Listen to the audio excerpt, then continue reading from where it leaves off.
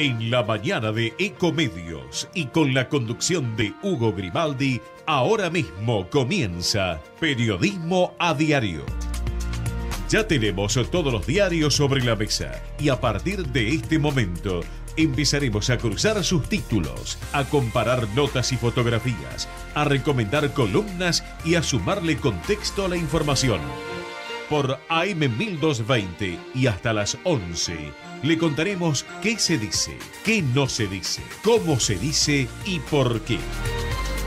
De lunes a viernes, en Periodismo a Diario, le acercamos el kiosco a sus oídos.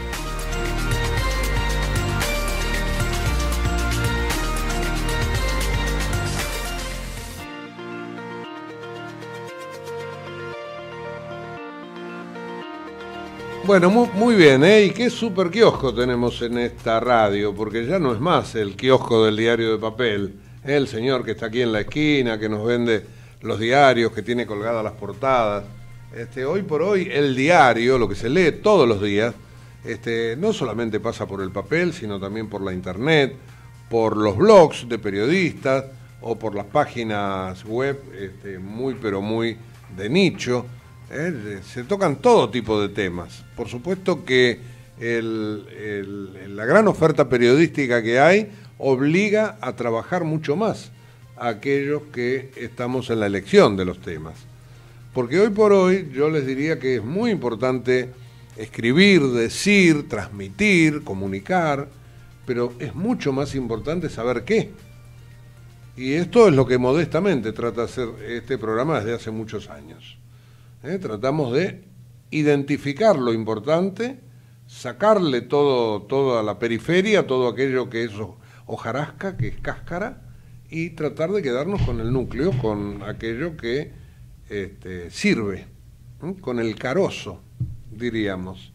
Carozo que se planta nuevamente, sale la plantita, etcétera, etcétera. Bueno, con ese símil este, que acabo de hacer, eh, quiero iniciar el programa de hoy diciéndole que acá se van a encontrar con un poco de mm, criterio periodístico de elección de temas. Y ojalá que sirva, ¿eh? que para eso este, tenemos este programa de radio, para tratar de ayudar a que las decisiones se tomen sabiendo todo lo que hay que saber y no la hojarasca precisamente. Así que estamos en Periodismo a Diario por Ecomedios en la M1220, como les digo siempre, a través de toda la red digital que tiene esta radio, en los canales de YouTube, eh, por Twitter, por Facebook. Eh, radio, sonido realmente este, estupendo y además tres cámaras aquí en el estudio que permiten ver lo que estamos haciendo. El día de hoy yo creo que no lo podemos iniciar periodísticamente si no hablamos de Brasil que ha quedado durante todo el fin de semana enganchado a la, a la realidad argentina, sin ningún tipo de duda. Hoy el diario Clarín, por ejemplo, en su portada titula Entre marchas y pedidos de juicio político, Temer pierde apoyo de sus aliados. Em, después el tema de, de Temer lo trae la Nación también, acorralado dice, lucha por preservar su coalición.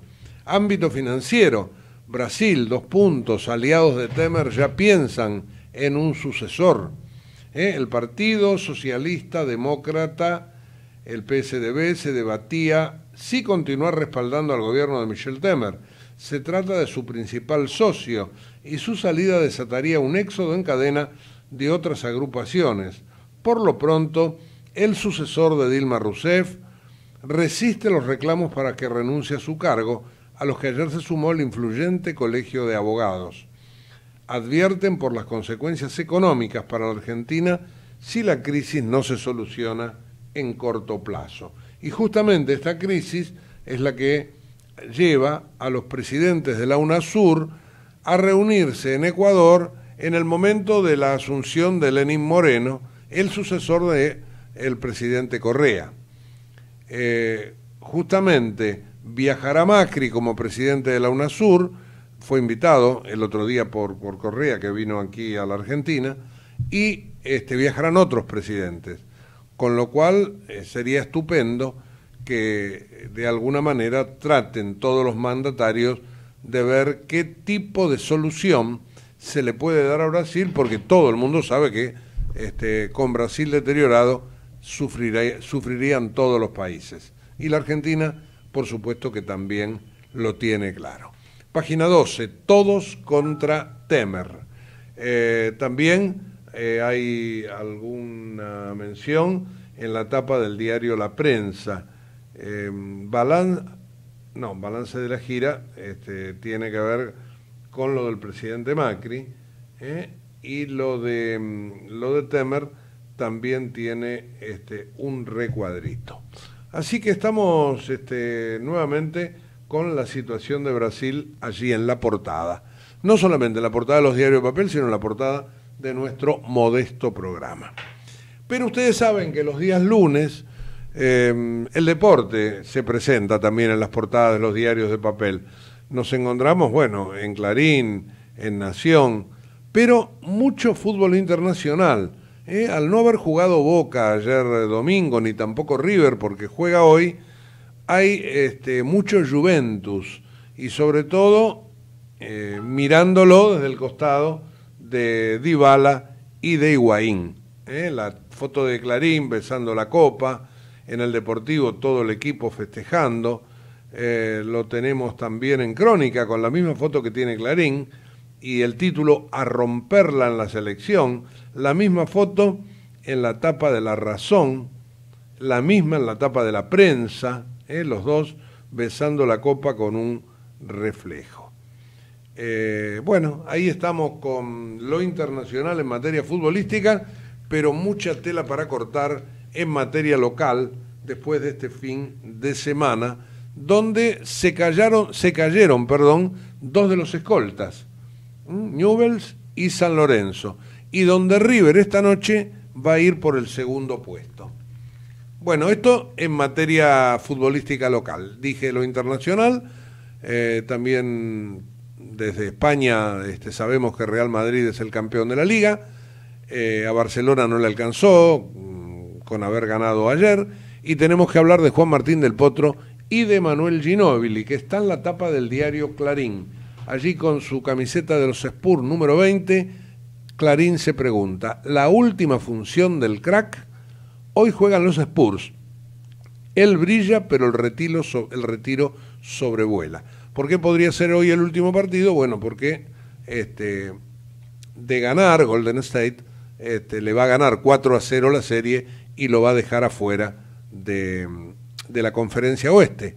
Este, en todo caso lo dejará como subcampeón de esa conferencia porque este, la diferencia basquetbolística que hay entre los dos equipos es realmente determinante y no alcanza lo de Ginobili para compensarla. Bueno, ahí está la mesa servida. Gerardo Puig nos va a explicar algunas cositas de todo lo que venimos hablando. ¿Cómo está Gerardo? Buen día. Buen día para todos, Hugo. Eh, lo marcabas eh, lo marcabas bien, ¿no? En, el ámbito internacional hay muchísima información porque fue un domingo atípico, sin Boca, que jugó el sábado, le ganó ajustadamente y, sin brillar a, a en la bombonera, y, sin River que lo hará esta noche buscando, como vos decías, ese triunfo que, que le permita cumplir en, parte lo que necesita para quedarse apenas a un puntito de, de Boca. Eh, en el ámbito internacional, lo marcábamos, Paulo Dybala eh, marcó un gol, eh, uno de los que le permitió a, Juventus, que igual era cómodo líder, sellar la consagración en el fútbol italiano, ganó 3 a 0 su partido y, festejó allí en, Italia. Y, también obviamente lo que marcábamos del fútbol español con Real Madrid, que ganó su, partido como visitante frente a Málaga y de esa manera eh, selló también el, título, superando a un Barcelona que, debió trabajar mucho para ganarle a, a Leibar en, el Camp Nou, perdía de hecho hasta poco antes del final 2 a 1, pero, pero no le alcanzó. Para consuelo de, del club Augrana, de, Messi y compañía, tendrán la, Copa del Rey el, fin de semana frente para intentar eh, obtener algo en esta, en esta temporada. No es menor pero obviamente totalmente eclipsado por el presidente del Real Madrid de Zidane, ¿no? Campeón de liga, con chances de ser campeón de la Liga de Campeones de Europa, justamente, donde va a enfrentar a, la Juventus de Dybala e Higuaín. También el sábado, ¿no? Sí, exactamente, exactamente allí en, en Cardiff, en, Gales. Bueno, es gran partido. Ya vamos a ir organizando durante la semana los pálpitos. Eh, decime, por favor, algo de Del Potro. Mira, Juan Martín Del Potro eh, va a jugar esta semana en, el ATP de, Lyon, en Francia, teniendo en cuenta que no pudo, eh, no pudo dar ese gran batacazo que tenía eh, pensado en, Roma, porque, bueno, obviamente cayó con, Djokovic el sábado tempranito, pues se había pospuesto el, el, cierre el viernes, esto correspondiente a los cuartos de final, Djokovic le ganó, después se, metió en la final, pero el, ganador del título fue el austríaco, el, perdón, el, alemán eh, Mischa Zverev, un chico que realmente juega, juega muy, muy bien. En el ATP de Lyon, un torneo eh, en el que no tenía previsto jugar del potro, pero que finalmente por, por esos contratiempos que le surgieron imprevistos, como fue ni más ni menos lamentablemente el fallecimiento de, de, su abuelo, de su abuelo, regresó a la Argentina, eh, y, en esta semana, que originalmente iba a ser para ponerse a punto en, Roland Garros en Francia, eh, va a jugar en realidad el, ATP de, Lyon, donde recibe una invitación especial y va a estar debutando allí. Así que vamos a estar pendientes de lo que, de lo que ocurra con el Tandilense. Bueno, después vamos a, mm, en la próxima entrada vamos a prestarle un poquitito de atención al fútbol local, ¿eh? a Boca, a San Lorenzo, a Racing, que perdió 4 a 1 ayer en Rosario con Rosario Central, a Independiente, que le ganó agónicamente el otro día a Huracán, este, en un partido cargado de dificultades para el árbitro. Todavía no puedo entender cómo una misma jugada se ve de modo distinto y se sanciona de modo distinto, en, de acuerdo al área donde suceda, pero bueno, viste, ya de esto de llorar ya, ya, ya pasó, ya fue pero igualmente este, lo de Chenique fue realmente muy, pero muy pobre. En un ratito, Rafael, eh, Gerardo, ¿puede ser? Sí, sí, perfecto, y vamos a hablar de, un torneo, con esto cierro, en el que cada vez más parece que es o Boca o River, ¿no?, en la pelea por el título. Bueno, yo decía Rafael porque también lo saludo. Rafael Saralegui, ¿cómo te va? Hola, muy buen día, Hugo, ¿cómo estás? Bueno, ahora en este momento con un ahogo en la garganta, así que salvame, haceme un punteo, dale. ¿Qué tal, Hugo? Mira, el tema son, está un poco ah, dispersa la agenda hoy en los diarios. Eh, no hay un tema que predomine, pero te diría, en principio, una información es que la decisión de exhumar el cuerpo del hijo de Carlos Menem, de Carlitos Menem Jr., esa causa que se tramita en el Juego Federal de San Nicolás, el juez va ordenó finalmente que se exhume el cuerpo para realizar un estudio de ADN. Luego está el tema de, de Odebrecht, las vinculaciones con esta firma en nuestro país y un pedido de la Fiscalía de Federico Delgado de que se investiguen las comunicaciones de la compañía entre el 2006 y el 2015, un, escrito que presentó ante el juez eh, Sebastián, Sebastián Casanelo. Y otro de los temas que hay, Hugo, es un tema que también es muy importante, que es eh, un acuerdo que está firmando la Oficina de Intervención de Teléfonos, lo que era la OJ en la EXIDE, y esa dirección que ahora depende de la Corte Suprema, un acuerdo que se está firmando con el Ministerio de Justicia para tener acceso a las bases de datos del gobierno, te diría en forma en línea, online, bases de datos de la FIP, de registros de inmuebles, de otros organismos, para agilizar las investigaciones que se llevan adelante eh, mediante la intervención telefónica, ¿no? Pero esto sería ya como ampliar las funciones de este organismo que depende actualmente de la Corte Suprema. Bueno, tengo dos temas, que uno aparece en Clarín, eh, otro sucedió hace unos días y ahora se está, se está viendo por la televisión, pero obviamente que tiene sus secuelas judiciales en ambos casos. Por ejemplo, en el caso de Clarín, según este, se marca en la tapa, a Cristóbal López la FIP le abrió una puerta. ¿Te acordás aquellos, aquellos 8 mil millones de pesos? Que estaban en una moratoria, etcétera, que estaban, mejor dicho, en una retención indebida de dinero. Bueno, se lo van a dejar entrar en una moratoria.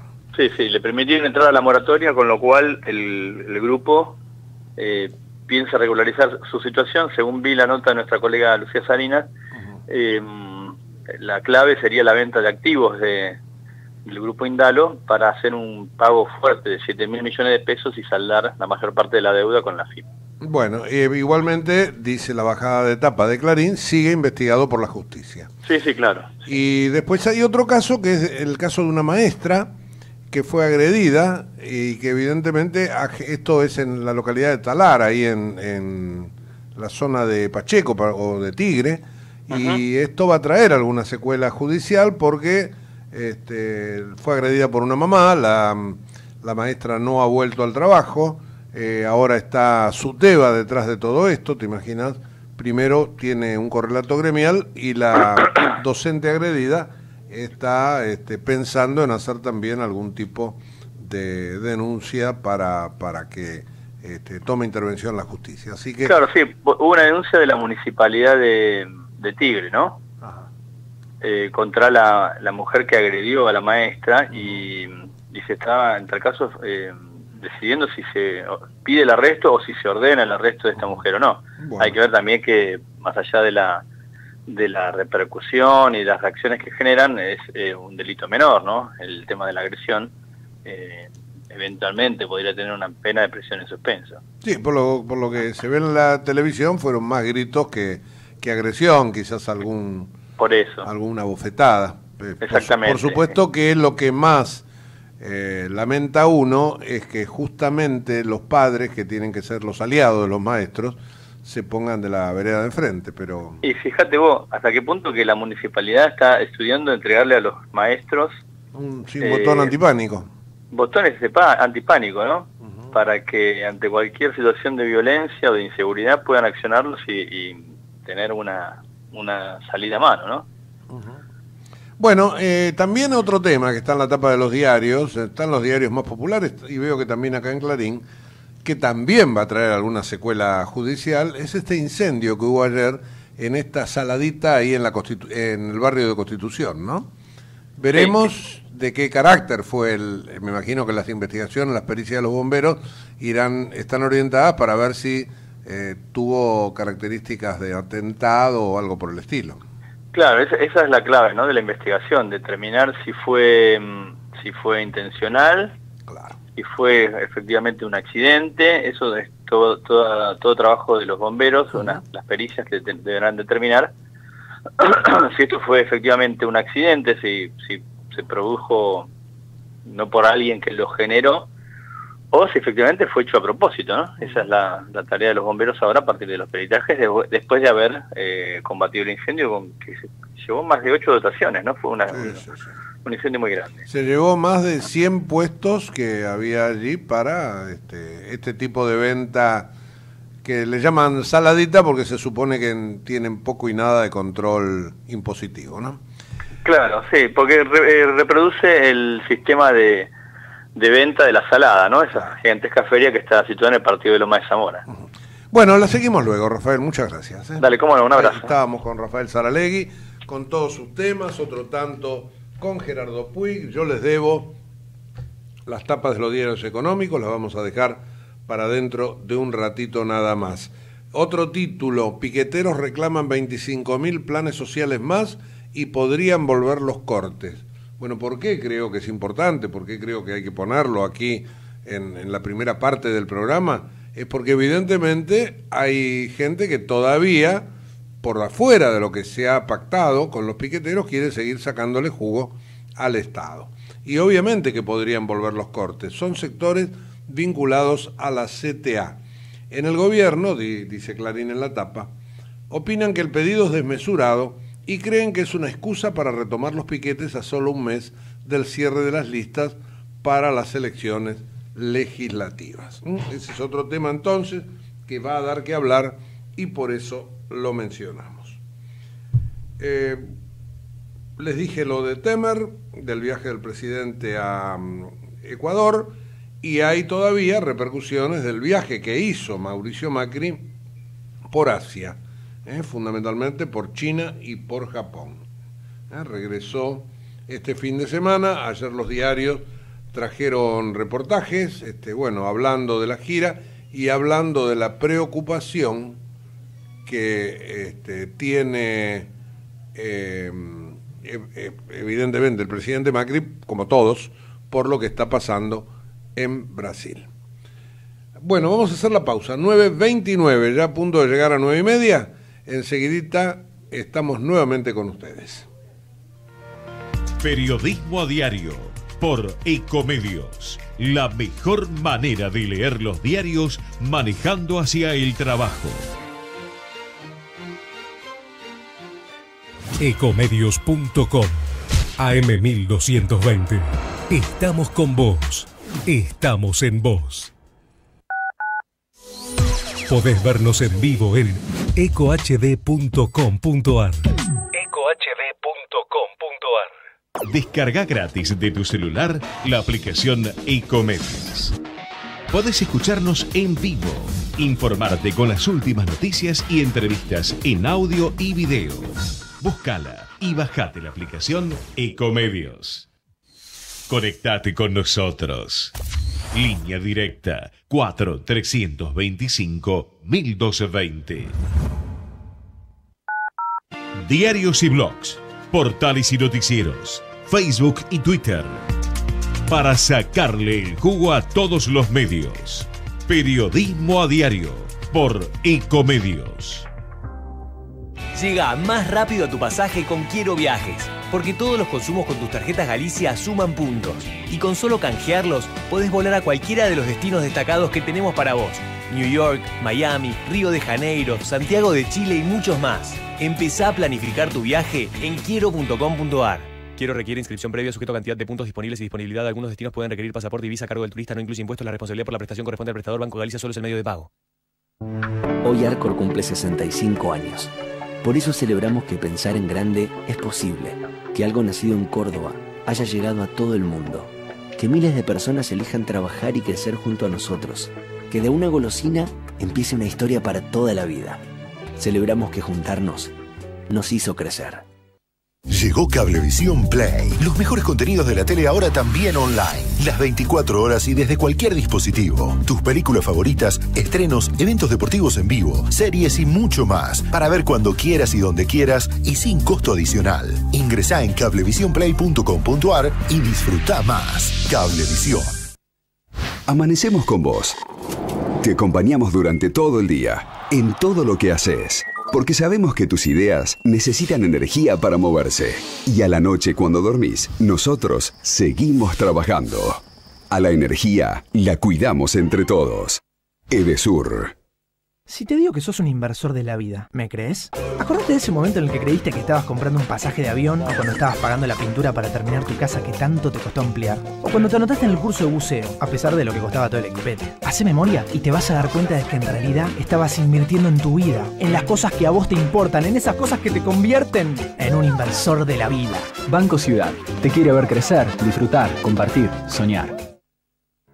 Desde hace 50 años, Tenaris Siderca trabaja la construcción de un sueño colectivo en el que la empresa industrial y su comunidad cercana crecen integradamente.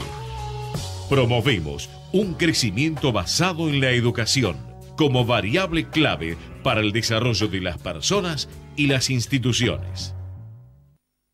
En La Matanza terminamos de entregar computadoras, proyectores, pantallas y capacitamos a los docentes para que en nuestros 236 jardines de infantes se eduque con tecnología de avanzada. Aulas digitales, robótica en secundarios técnicos, inclusión tecnológica. Pensando en el futuro, trabajamos por la educación. Municipio de La Matanza. Matanza, avanza. ExxonMobil, líder en tecnología para la operación segura y eficiente de recursos no convencionales de gas y petróleo, está contribuyendo con el progreso del país desde sus operaciones en la provincia de Neuquén. All of me. Why not take all of me? Can't you see? I'm no good without you. Take my lips, I wanna lose them. Take my arms, I'll never use them. Your goodbye left me with eyes that cry. How can I go on, dear, without you?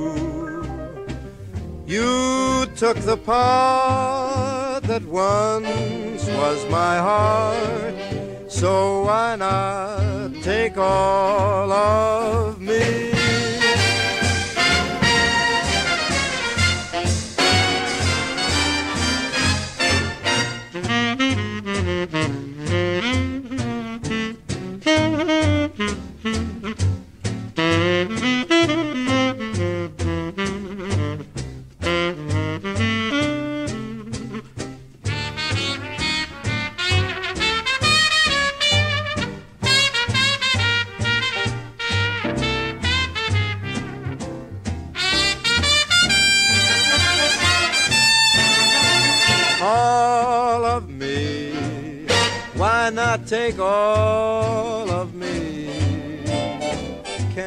See?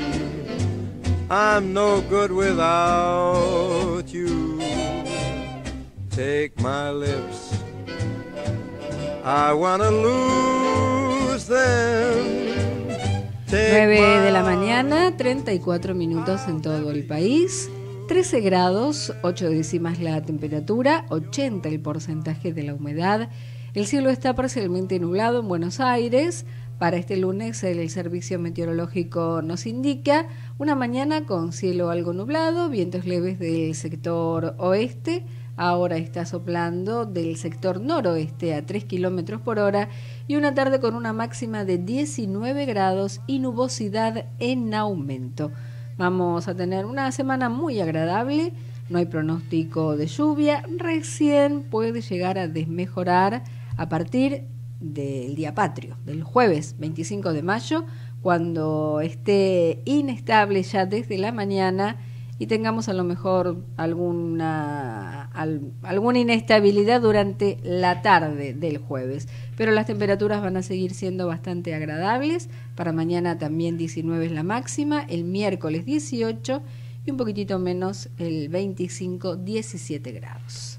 Bueno, este, mm, les aporto algo a los que mm, están en este momento o que tienen que ir hoy por la Plaza de Mayo.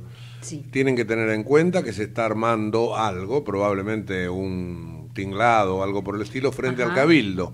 Con lo cual, Ah. no solo está cerrada la plaza para aquellos que vienen desde la catedral hacia el sur, digamos, Sí, sí. ya sea los que entran por Diagonal Norte o los que vienen por la calle Rivadavia, tienen que seguir por Avenida de Mayo, no tienen ninguna No otra puede. posibilidad. Sino que también está cerrada eh, el paso que hay frente al Cabildo para ir de sur a norte y entrar por la Avenida de Mayo. Claro. Con lo cual, todos los que bajan por Diagonal Sur o por Hipólito Yrigoyen tienen que dar la vuelta por detrás de la Casa de Gobierno. Ir hasta el Bajo, tomar Sí. la avenida La Rábida por allá atrás y volver nuevamente por Rivadavia. Así que no sé si va a durar hasta, hasta el 25 o el 26, pero por lo menos hace un ser. ratito no, Ah, no andaba. bueno, es hoy vein- 22 de mayo, Hoy es hay 22. Cabildo Abierto. Claro. A lo mejor hay al- Es un acto para hoy, Claro, a lo mejor hay alguna actividad de- en el Cabildo. Daba No la sé, impresión. no sé, supongo. No, no, daba la impresión que estaban haciendo algo allí. Claro. Eh, se supone que en estos días siempre frente al Cabildo está la banda del Regimiento de Patricios. Así que, bueno, veremos. Porque tal como los granaderos son los custodios presidenciales en la Casa de Gobierno, Patricios tiene encomendada la mm, custodia del Cabildo. El Cabildo. Así que por ahí viene de ese lado, por ese lado. Eh, hay bandas, viste, se toca el himno, etc. Sí, sí, sí, sí, sí, sí.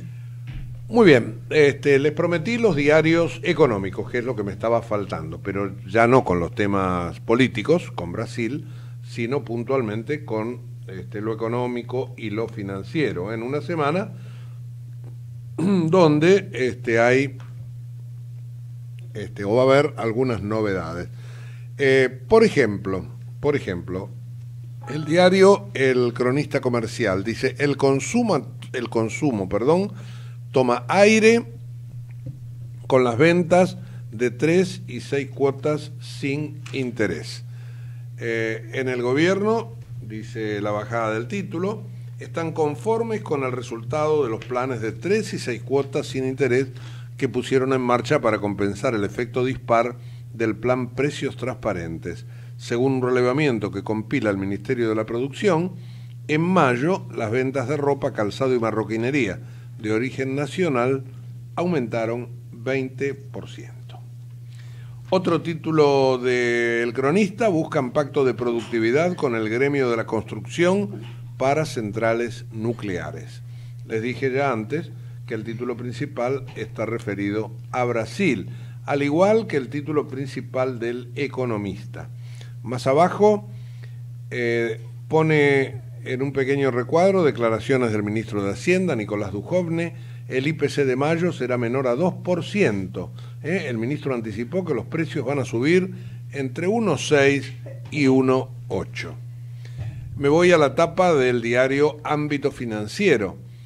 Eh, lanzan más letras en dólares por 1.500 millones. El gobierno vuelve al mercado, dice Ámbito, en busca de financiamiento por 1.500 millones de dólares emitirá tres series de letes a 6, 12 y 15 meses, eh, de 500 millones de dólares cada plazo. En estas emisiones tienen prioridad compras por hasta 50 mil dólares, privilegiando así al pequeño inversor. El atractivo además es la renta, 3,17% a un año, y si se compra con pesos la letra, se la convierte en dólares al cambio mayorista, que es 40 centavos menor que el minorista. ¿eh? Estas son algunas de las posibilidades que van a dar estas nuevas letras.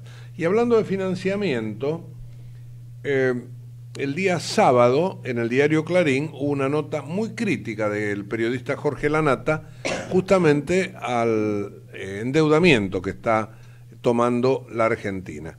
No hace Lanata prácticamente eh, ninguna diferenciación con respecto a otros países, no compara, eh, tampoco compara contra otras épocas este, de la Argentina, pero eh, dice algo de sentido común.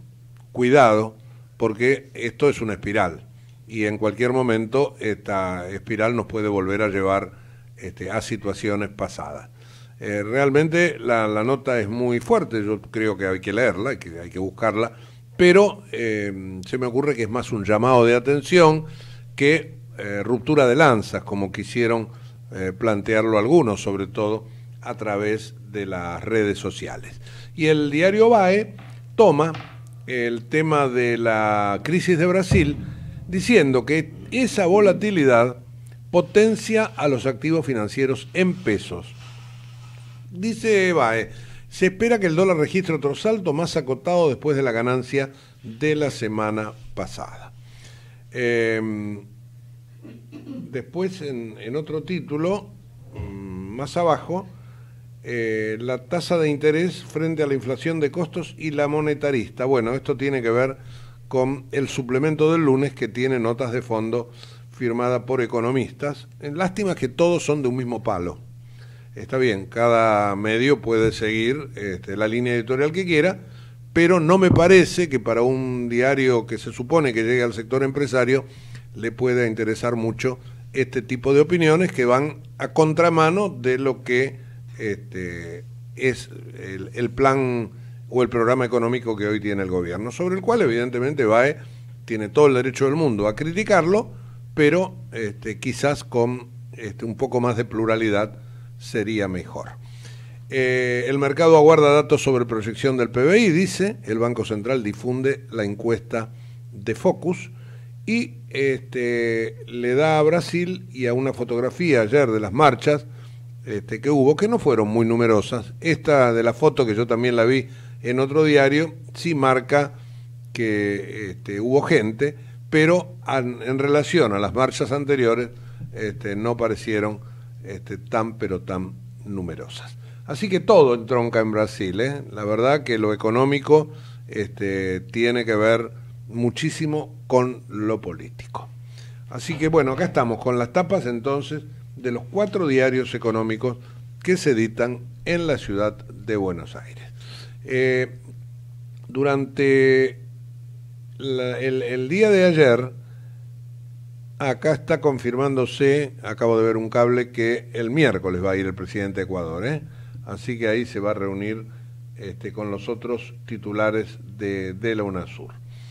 Eh, ayer se conoció, eh, esto nuevamente volviendo a la economía, y no lo, no lo veo demasiado reflejado en los diarios, pero me parece que es importante, sobre todo para aquellos que son cumplidores con la AFIP.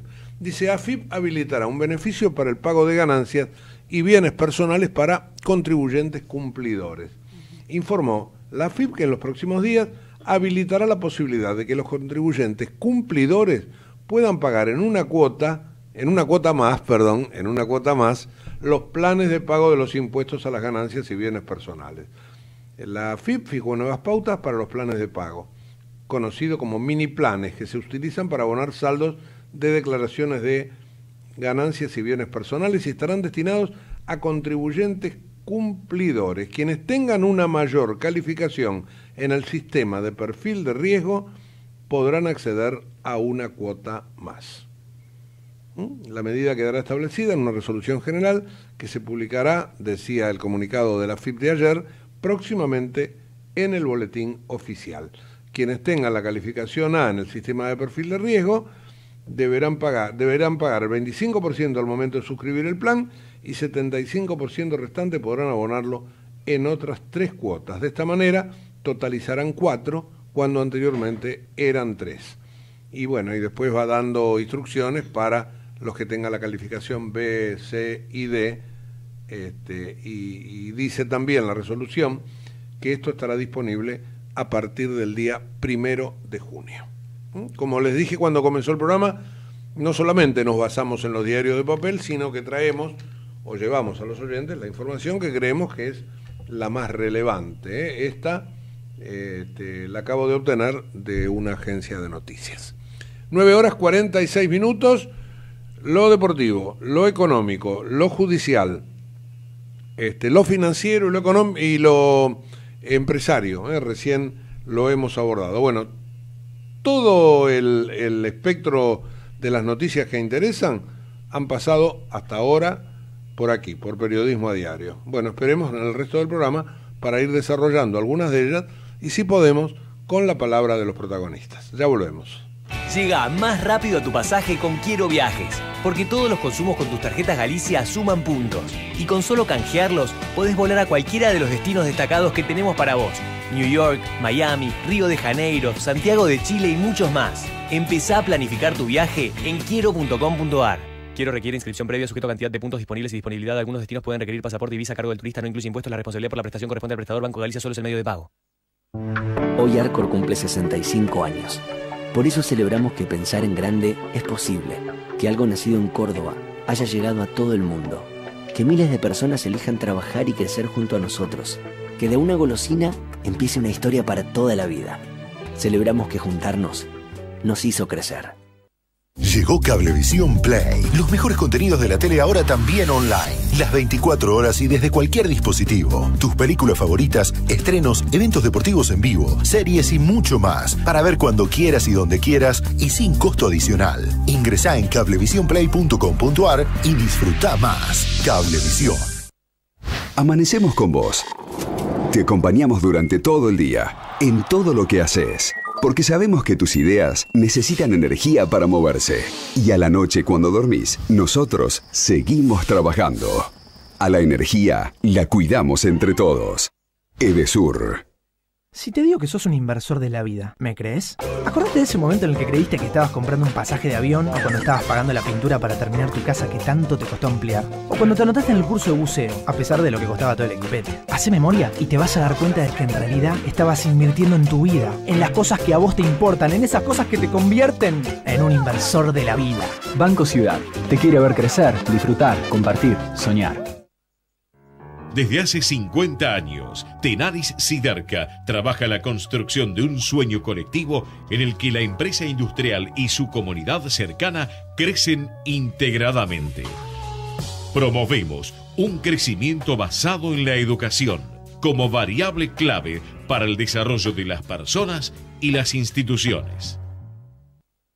En La Matanza terminamos de entregar computadoras, proyectores, pantallas y capacitamos a los docentes para que en nuestros 236 jardines de infantes se eduque con tecnología de avanzada.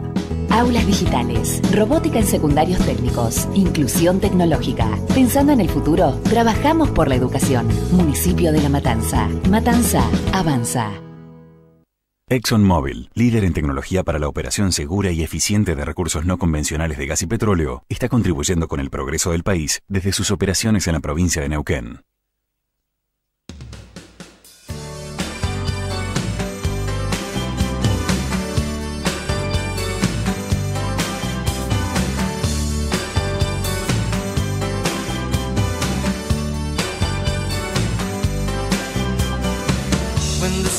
Shakes are strong and the light of the moon is the band and the stars up above walk the heavens hand in hand. There's a shady place at the end of the working day where young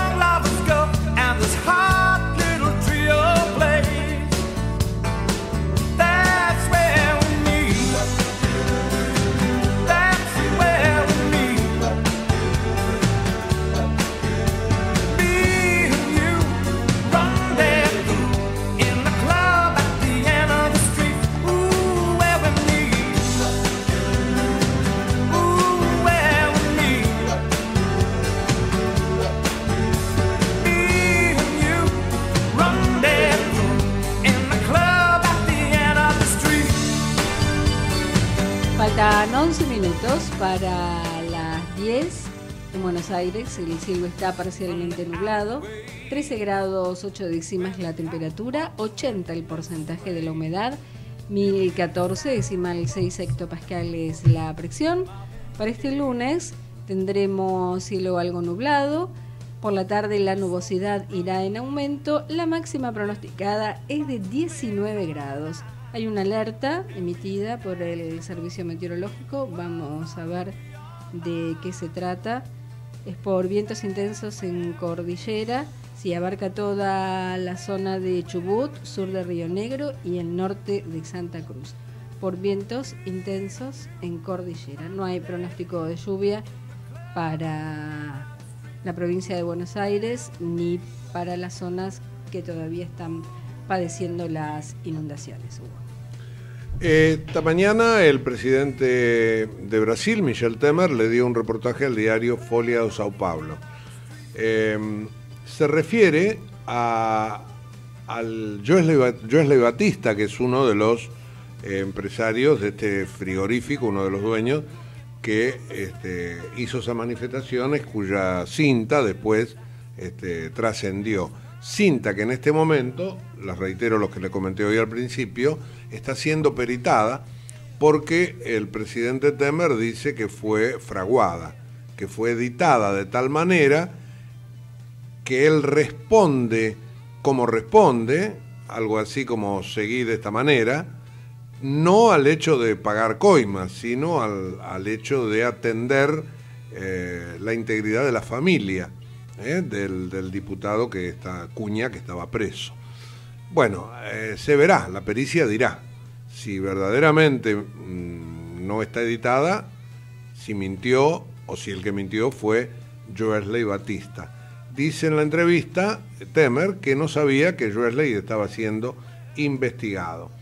Este, el presidente habla en esta entrevista de los errores y las distorsiones que hay en esa cinta y este, el diario Globo marca en su edición de hoy los siete pecados de Temer en la conversación justamente con Joesley Batista. ¿eh?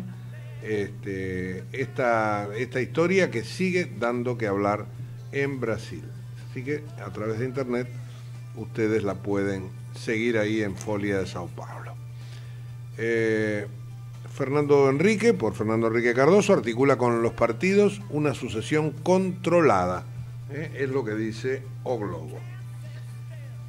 Eh, Neves pedirá al Supremo, es decir, al Tribunal, a la Corte Suprema, volver al mandato en el Senado. Es otro de los titulares de O Globo.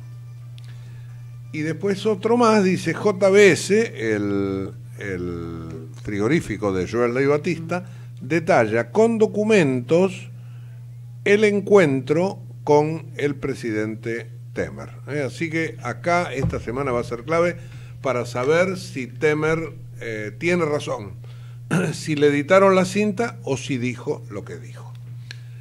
Rafael, vamos a alguno de los temas que nos marcaste antes. Este, volvamos de Brasil a la Argentina, dale.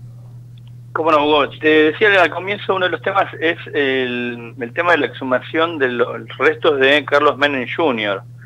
Eh, hay un reclamo histórico de Zulema Yoma que sostiene que eh, los restos de quien está sepultado en el cementerio islámico no son los de su hijo, y con ese reclamo llegó a la Comisión Interamericana de Derechos Humanos, a la Corte Interamericana, y, y finalmente entonces el, el, juez Carlos Villafuerte Russo, que es quien investiga este hecho desde hace años, decidió finalmente entonces acceder a hacer una exhumación de los restos y hacer una comparación de ADN con Carlos Menem y Zulema Yoma como para dar eh, un cierre a esta situación, a este reclamo histórico de Zulema.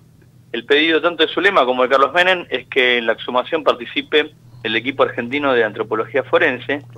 Recordemos que es un equipo especializado en la identificación de restos que se creó durante la dictadura para ayudar a identificar a quienes habían sepultado, sido sepultados en tumbas CNN y después este, siguió trabajando en diversos lugares del mundo hasta tal punto que participó, por ejemplo, en la exhumación de los restos del Che Guevara en Bolivia y en la identificación de los restos del Che. Entonces el equipo va a participar de esta exhumación, también va a participar un pedor o un especialista de la Corte Interamericana de Derechos Humanos para cumplir con este pedido, eh, con el objetivo finalmente de terminar con este reclamo de Zulema de que sostiene que había, habrían sido cambiados eh, los restos de Carlitos Menem en el momento del, entierro, ¿no? Es eh, un reclamo histórico de Zulema que también sostiene que Carlitos había muerto como víctima de un de un atentado que habían baleado el helicóptero donde él viajaba, algo que para el juez nunca se pudo comprobar, eh, y que sostiene que en realidad fue consecuencia de un accidente, que él venía piloteando su helicóptero y en una maniobra imprudente se enganchó con cables de alta tensión y así es como, como se estrelló y vino a tierra, ¿no? Así es, esta, esta historia, este, Zulema Yoma la viene manteniendo desde siempre y recordemos que las circunstancias en aquel momento, bueno, probablemente este, este- esta historia del atentado Sí, un tercer atentado, ¿no? tenga que ver justamente con, con, con el tema de que desde algún país de Oriente se atentó contra el presidente de la nación, como tercer atentado, tal sí, como hay, vos decís. hay hubo un cambio también de Carlos Menem, que en los últimos años, eh, te diría el año pasado, pasó a decir que Carlitos había sido víctima de un atentado también, eh, pero cuando declaró ante el juez Villafuerte no aportó ningún dato concreto que le permitiera sostener esa hipótesis, digamos, es un expresidente, estuvo más de 10 años en el poder, eh, tenía información de primera mano, y no es que le aportó, digamos, algún informe de algún organismo de inteligencia o algún testimonio obtenido a través de, de su cargo que le permitiera sostener que efectivamente había sido víctima de un atentado, sino fue más bien, eh, te diría, declaraciones un poco vagas, donde no pudo corroborar esta hipótesis de que había sido víctima de un atentado. Sí, Para es muy difícil aceptar esto, claramente que el hijo fue víctima de un accidente y se aferra a la teoría de un tercer atentado, pero no es lo que hay en la causa, pese a que hubo una seguidilla o sucesión de, de muertes vinculadas con personas que en algún momento declararon o tuvieron algún vínculo con el caso, eso ayudó a seguir a generar un- también un mito, ¿no? que había muertes vinculadas con, con este con este caso para tapar la verdad.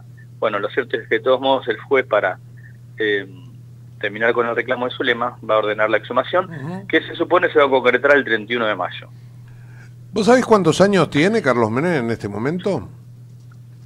Eh, Bueno, no sé, och- te lo digo, 80. och- 86. Ah, te iba a decir. 86 años y termina su mandato como senador el 10 de diciembre. Él es senador por la provincia de La Rioja.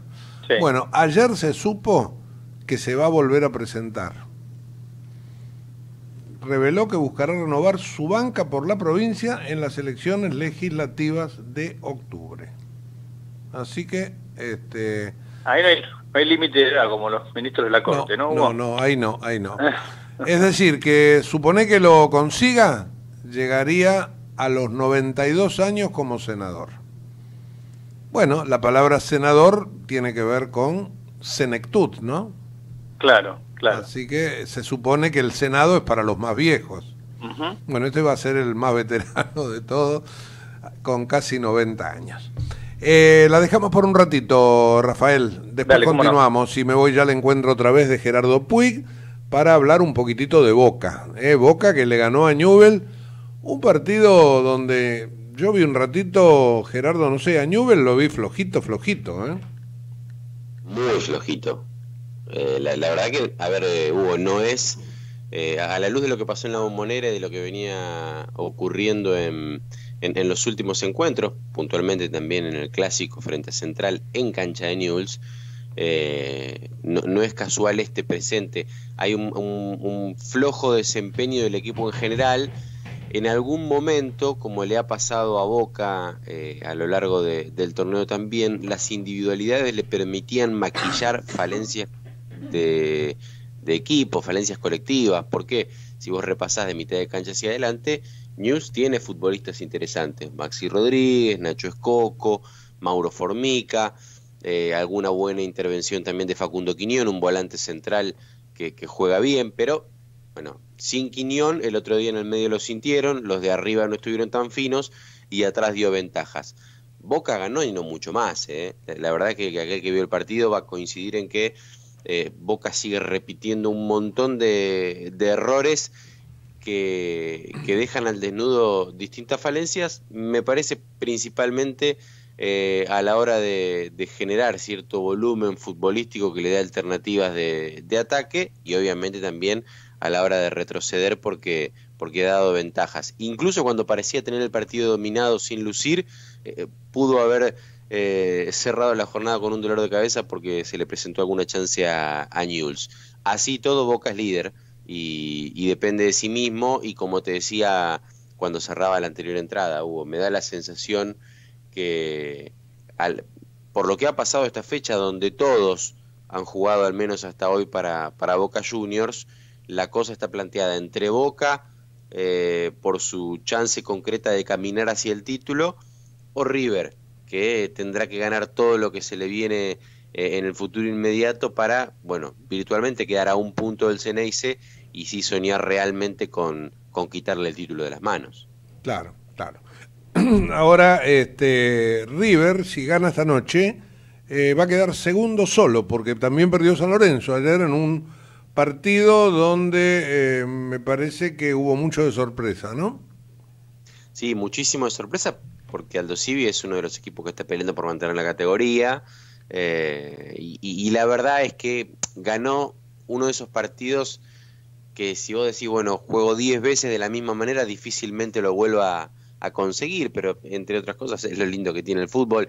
Eh, no hizo demasiado para quedarse con el título, con el partido, más allá de eh, la enjundia con la que jugó y, las ganas con la que intentó eh, cerrarle los caminos a, San Lorenzo, pero bueno, el, equipo en el que debutó Walter Perazo, porque que reemplazó a Darío Franco, eh, terminó llevándose una, una muy buena victoria, sobre todo en esta lucha por la permanencia. San Lorenzo ah, hoy sigue siendo el único escolta de Boca porque tiene 46 y el Genesis tiene 52, pero como vos marcabas, River tiene 45 y si gana se irá hasta los 48. En ese escenario quedará a cuatro puntos de Boca, pero recuerden que el 11 de junio eh, River va a jugar el partido pendiente frente a Atlético Tucumán. Por lo tanto, de ganar ahí virtualmente quedaría a uno. Claro, en el medio habrá otra fecha más. Digo, todavía eh, tiene mucho compromiso River como para eh, pensarse con, con chances concretas de, de arrebatarle el, título a Boca, pero eh, Boca seguramente no camina tan tranquilo como antes. Bueno, y más abajo también le falta un partido independiente que viene ganando, parece que ha retomado este, la racha, de- por lo que vi el otro día, no el muy buen juego, pero bueno, obviamente que, que le alcanzó para ganar bien, este, más allá de la actuación de Chenique, que ya la hemos discutido aquí en el estudio con Marcela, pero este, más allá de eso, al faltarle un partido también podría acomodarse porque está peleando por un lugar en la Copa Libertadores. Sí, claro, que es el gran objetivo hoy que tiene el Rojo, meterse en, en Plaza de Libertadores, después verá si en la recta final puede aspirar a algo más. Tiene 44 puntos eh, Independiente, el partido que, que debe jugar todavía es con Defensa y Justicia, si ganase ese encuentro se iría a 47, son 5 que lo, lo separan en ese caso de, de Boca. Un datito de Independiente. Eh, en, términos de, de- una estadística que leí hace, hace un ratito cuando estaba repasando los diarios, eh, Holland con este inicio que ha tenido en Independiente es, si vos repasás la historia de los técnicos en su primer campeonato, está entre los dos mejores arranques en la historia. Estamos hablando de que lleva un, un acumulado de 12 partidos sin derrotas. eh, ha superado, por ejemplo, lo que fue el arranque de, de Brindisi cuando llegó eh, en ese muy buen ciclo en el que ganó eh, algunos títulos en, en el 94. Pero bueno, habrá que ver si, si le alcanza como para cerrar bien el, torneo y cumplir el, principal objetivo que es meterse en puesto de Libertadores. Hoy Independiente está séptimo, tengan en cuenta que, son los primeros seis los que se meten en, en- clasificación directa a la próxima edición de la Libertadores. Bueno, igual con la misma cantidad de puntos está Estudiantes de La Plata, que también tiene que jugar un partido, en este caso lo hará esta noche, ¿no? Sí, con Olimpo de, de Bahía Blanca. Mira, vamos a repasar los horarios. 7 de la tarde va a jugar Estudiantes en Bahía Blanca con Olimpo. Y a las 9 y cuarto de la noche, este muy en- entretenido partido, al menos en la previa, entre Gimnasia y River en el Bosque.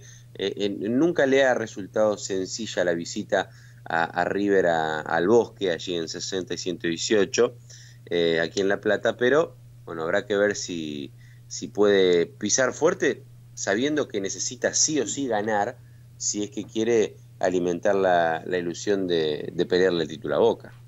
Bueno, y ya para, para cerrar el tema de la tabla de posiciones, Gerardo, porque decíamos que se cayó San Lorenzo, que se cayó Newells en manos de Boca, también se cayó Banfield, con lo cual se le fueron despejando los caminos este, a Boca y a River, obviamente si gana esta noche, ¿no? Y claro, por eso yo te decía, todos, al menos hasta hoy, habrá que ver qué pasa con River, han jugado para, para Boca porque San Lorenzo, escolta, perdió. Newell's, obviamente, porque perdió a manos de Boca. Banfield, que tenía una parada brava en Atlético, eh, frente a Atlético Tucumán en Tucumán, eh, cayó 0-3. Eh, ese 3 a 0 fue bastante contundente y, y casi te diría un mensaje para el hincha de River. Miren que si ustedes piensan que el partido pendiente se lo van a llevar de arriba aquí en Tucumán, no será nada fácil. Es un, claro, un equipo y un reducto que, que promete ser difícil para cualquiera. Así que, por eso te decía, todos han jugado para, para Boca, habrá que ver qué pasa hoy con, con River. Y bueno, en menor medida, si querés, hasta con estudiantes, que en la pelea por el título me parece que ha quedado relegado, pero eh, tendrá una, una parada difícil frente a Olimpo en Bahía Blanca. Sí, y también de los que vienen abajo, mira, se cayeron y perdieron Colón, que venía de gran racha, y Racing. Así que Sí. este, quedó todo, me parece, para Boca y para River. Eh, Sí, ¿Lo dejamos por un rato? Lo decía antes, me parece que, que- que no sale de ahí, ¿no? Por, por la tendencia sobre todo y por la diferencia que han sacado en la tabla. Sí, señor. Después cambiamos de tema y quizás de deporte también. Pero en un ratito nada más porque llegamos a la mitad del programa, ya la pasamos y nos vamos a una pequeña pausa aquí en Periodismo a Diario. Desde Buenos Aires, transmite LRI 224, AM 1220, Ecomedios. Descarga gratis de tu celular la aplicación Ecomedios. Podés escucharnos en vivo, informarte con las últimas noticias y entrevistas en audio y video. Búscala y bajate la aplicación Ecomedios. Santiago, una nueva provincia que ya está en crecimiento. Trabajamos en la ampliación del sistema eléctrico, llevando energía a distintas zonas de la provincia y ejecutamos las obras que permiten el abastecimiento a hogares y emprendimientos productivos. Se han construido las estaciones transformadoras de Santiago Sur y Añatuya, líneas de alta tensión, El Bracho Lavanda y Añatuya Bandera, Santiago Santa Catalina, Colonia María Elena, El Martirizado, Pozo Hondo, Cuatro Horcones y Loma del Medio y 17 obras de electrificación a poblaciones rurales. En tanto se proyectan las nuevas estaciones Santiago Este y Bandera, líneas de alta tensión, Bandera Pinto, Suncho Corral Quimilí, Quimilí Tintina, Tintina Montequemado, 11 líneas de media y baja tensión y 44 obras de electrificación a distintos departamentos y poblaciones que permitirán duplicar la capacidad existente. Se construyeron 72 kilómetros de nuevos gasoductos que permitirán a más de 24.000 usuarios el acceso en forma directa a esta fuente de energía. Gobierno de Santiago del Estero. Sigamos creciendo. La información que pasa por ECO está en ecoya.com.ar. Conectate con nosotros. Facebook.com barra Ecomedios 1220.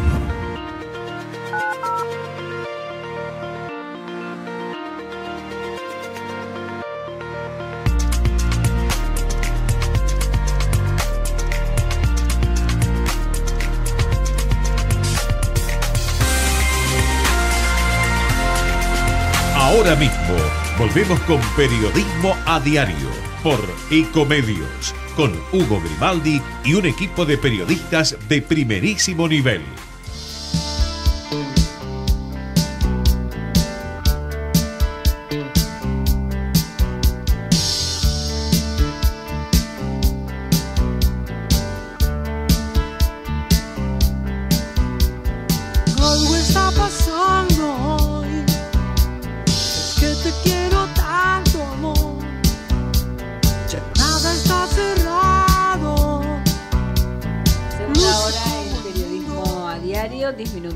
Pasaron de la hora 10, 16 grados la temperatura actual, 69 el porcentaje de la humedad. Bueno, veníamos hablando con Gerardo Puig recién de boca, boca, boca. Y yo dije, entonces, ¿qué, qué mejor que un hincha de boca? Porque debe estar contento y nos va a ayudar a analizar con, con espíritu positivo. Daniel Artana, ¿cómo te va? Buen día. Hugo Grimaldi. ¿Cómo te va, Hugo? Buen día. ¿Estás contento futbolísticamente o todavía no, no, no estás descorchando? No, ¿cómo vas a descorchar? no, falta, falta. Los campeonatos no se ganan hasta que uno no es campeón. Siempre se pueden perder, así que... ahí. Pero bueno, por lo menos nos levantamos después de perder el partido con River. Bueno, y en este campeonato sudamericano, este, el campeón se ha, se ha quedado y, y- y el, el furgón de cola, que es la Argentina, me parece que este, también va a acusar el golpe. Vos, vos lo has analizado este fin de semana y quería este, compartir algunas de tus ideas con los oyentes. ¿Por qué no nos contás cómo ves la situación de Brasil, referido obviamente a la Argentina, no?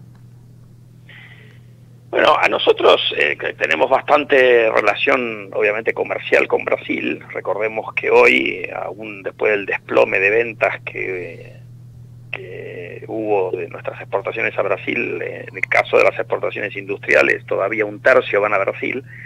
Eh, hay un efecto eh, eh, importante de lo que pasa en Brasil sobre nosotros y por lo tanto a nosotros nos conviene que a Brasil le vaya bien. La duda que hay ahora con toda esta ensalada política que se ha armado es si esto no puede frenar una recuperación que se veía lenta pero que empezaba a insinuarse en datos de empleo y en datos de actividad económica muy tenue pero por lo menos daba la sensación que lo peor eh, había pasado. Eh, ¿De qué va a depender? eh, bueno, que va a haber algún impacto de la política en la economía de Brasil, eh, yo creo que nadie duda eso. Segunda cuestión, no sabemos cuánto va a durar, porque capaz que esto se resuelva rápido, capaz que no.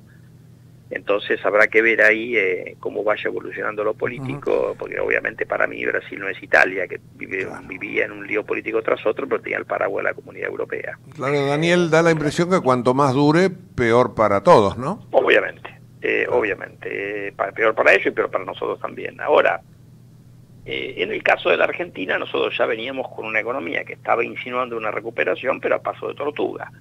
Lo que puede hacer esto es que ese paso de tortuga sea incluso un poco más bajo de lo que de lo que preveíamos. A mí me parece que si Brasil no se arregla pronto, cosa que otra vez no sabemos porque depende de la cuestión política, eh, va a ser difícil llegar a los, eh, las proyecciones optimistas que tiene el gobierno de crecimiento. Eh, la cosa va a estar más cerca por ahí de los de números del entorno del 2%, pero habrá que ver otra vez, depende mucho de cuánto le lleve a Brasil arreglar, arreglar su entuerto político. ¿no? Yo firmé una nota este fin de semana que decía otro brote verde que se le cae a la Argentina. Y, y de los demás brotes verdes, este, siguen más que verdes, ¿no? Eh, ahí hay números positivos en un par de sectores, el agro y la construcción. Eh, en la industria hay alguno también que tiene algún número positivo, pero en general la industria había recuperado algo al final del año, lo perdió en los primeros meses, del año pasado, perdón, lo perdió en los primeros meses de este año. Eh, y después, bueno, hay algunos sectores eh, terciarios que, que, bueno, que por ahí no, no- eh, también tienen algún movimiento positivo, pero la verdad que es una economía que le está costando salir. Y, y bueno, esto tiene, eh, si uno quiere, varias explicaciones, pero bueno, le está costando a la economía en- enganchar esa senda de, de 3%, 3,5% que el gobierno cree que es factible para los próximos 3, 4 años. Eh, ya ustedes han empezado la medición, mejor dicho, están terminando la medición de precios de mayo. Sí, viene, lo que nosotros tenemos viene mejor de lo que fue abril. ¿no? Eh, está- hay algo- yo creo que es posible que de abajo del 2% mayo, pero bueno, todavía nos falta nos faltan datos de la tercera semana que lo están procesando ahora y de la, la cuarta que bueno, todavía no empezó, así que en realidad con lo que tenemos de las dos primeras semanas, eh, la inflación en mayo venía abajo del, del 2%, pero bueno, hay que ver un poco cómo. Y nosotros acordate que medimos Ciudad de Buenos Aires, Claro. el INDEC dio, en Ciudad de Buenos Aires el mes pasado dio 2.1, a nosotros nos dio 1.9, el INDEC dio 2.6. Eh, Fue un poquito raro lo del INDEC en el sentido que fue la diferencia con el indicador de la Ciudad de Buenos Aires fue muy marcada, en este caso muy por encima, con ese 2.6. Eh, a mí no me sorprendería que mayo no tenga alguna buena noticia de INDEC comparado con Cava, ¿no? porque fue medio raro ese movimiento de abril, digamos, demasiada alta la diferencia comparado con la Ciudad de Buenos Aires. Pero bueno, tendremos que esperar a los primeros días de junio para, para saber qué pasó. Bueno, pero me parece que el INDEC igual da tranquilidad este, en cuanto a, a, Sin duda. a la certeza, ¿no? No, sin duda es un INDEC confiable, pero bueno, lo que digo es que no estoy diciendo que esté mal medido, lo que digo claro. es que esa diferencia normalmente no se debería sostener en el tiempo, con lo cual si algún mes te dio de más, uno debería esperar que algún mes tengas un efecto compensador. Pero bueno, eh, independientemente de eso, creo que tenemos un INDEC confiable y eso es una buena noticia. ¿no? Y, y después vendrá ya un sendero acercándose al 1, ¿te parece? Mira, nosotros, a ver, eh, para que el gobierno cumpla con su objetivo de estar adentro del- de la banda de inflación que tiene el Banco Central, se necesita que la inflación sea alrededor de 0,8 por mes en lo que resta del año. Eso luce muy, muy, digamos, difícil de lograr para mí. Ahora, eh, nosotros ya hemos tenido algunos momentos donde la inflación núcleo estuvo ahí coqueteando con el 1,2, 1,3 mensual. Yo creo que eso es posible y creo que eso es lo que va a ocurrir eh, en la, por ahí en la mayoría de los meses de la segunda mitad del año. Para ir más abajo está un poco más complicado, me parece a mí. Muy bien, Daniel, te agradezco. Ahí tenés un llamadito telefónico. Sí, me están llamando por otra línea. Sí, claro. Hasta luego. Te mando un gran abrazo. Chao, ¿eh? chao. Bueno, hablábamos con Daniel Artana, hablábamos de la parte macro. Pero este, lo tengo en línea a Marcelo Lizondo. Este, la charla con, con Daniel comenzó por el tema Brasil y después hablamos del tipo de cambio, todo eso. Y, y nos fuimos a lo macro local. Y con Marcelo Lizondo, que es economista y titular de DNI, quiero también hablar de Brasil, pero ya más desde este, el movimiento de, de, mm, de exportaciones e importaciones al vecino. Marcelo, buen día. Hugo Grimaldi, ¿cómo te va? Hola Hugo, buen día, un gusto, ¿cómo estás vos? Bien, bien. Bueno, yo desde lo práctico, digamos, este, esta crisis brasileña que es política, que nadie sabe cuánto va a durar y que pega en su economía, ¿a qué economías este, argentinas puede llegar a afectar más? ¿A las economías regionales, por ejemplo? Bueno, por la dimensión A la que más afecta es a la del sector automotriz. Automotriz. La Argentina exporta alrededor de 3.500 millones de dólares el año pasado. A Brasil llegó a exportarle el doble en su mejor época. Y es el rubro con mayor exportación en dólares a Brasil. Casi el 40% de todo lo que la Argentina le exporta a Brasil son productos de la industria automotriz. Por lo tanto, ahí tenés el primer afectado. Y hay dos más afectados. El segundo, como decías, es el de las economías regionales. Pongamos ajos y cebollas de Mendoza, por ejemplo, o algunas frutas del sur. Y el tercero es el del resto de la industria tradicional, químicos, plásticos, algunas máquinas y aparatos. En general la industria tradicional argentina y sobre todo la que depende de empresas medianas y pequeñas tiene en Brasil un mercado pre- preeminente.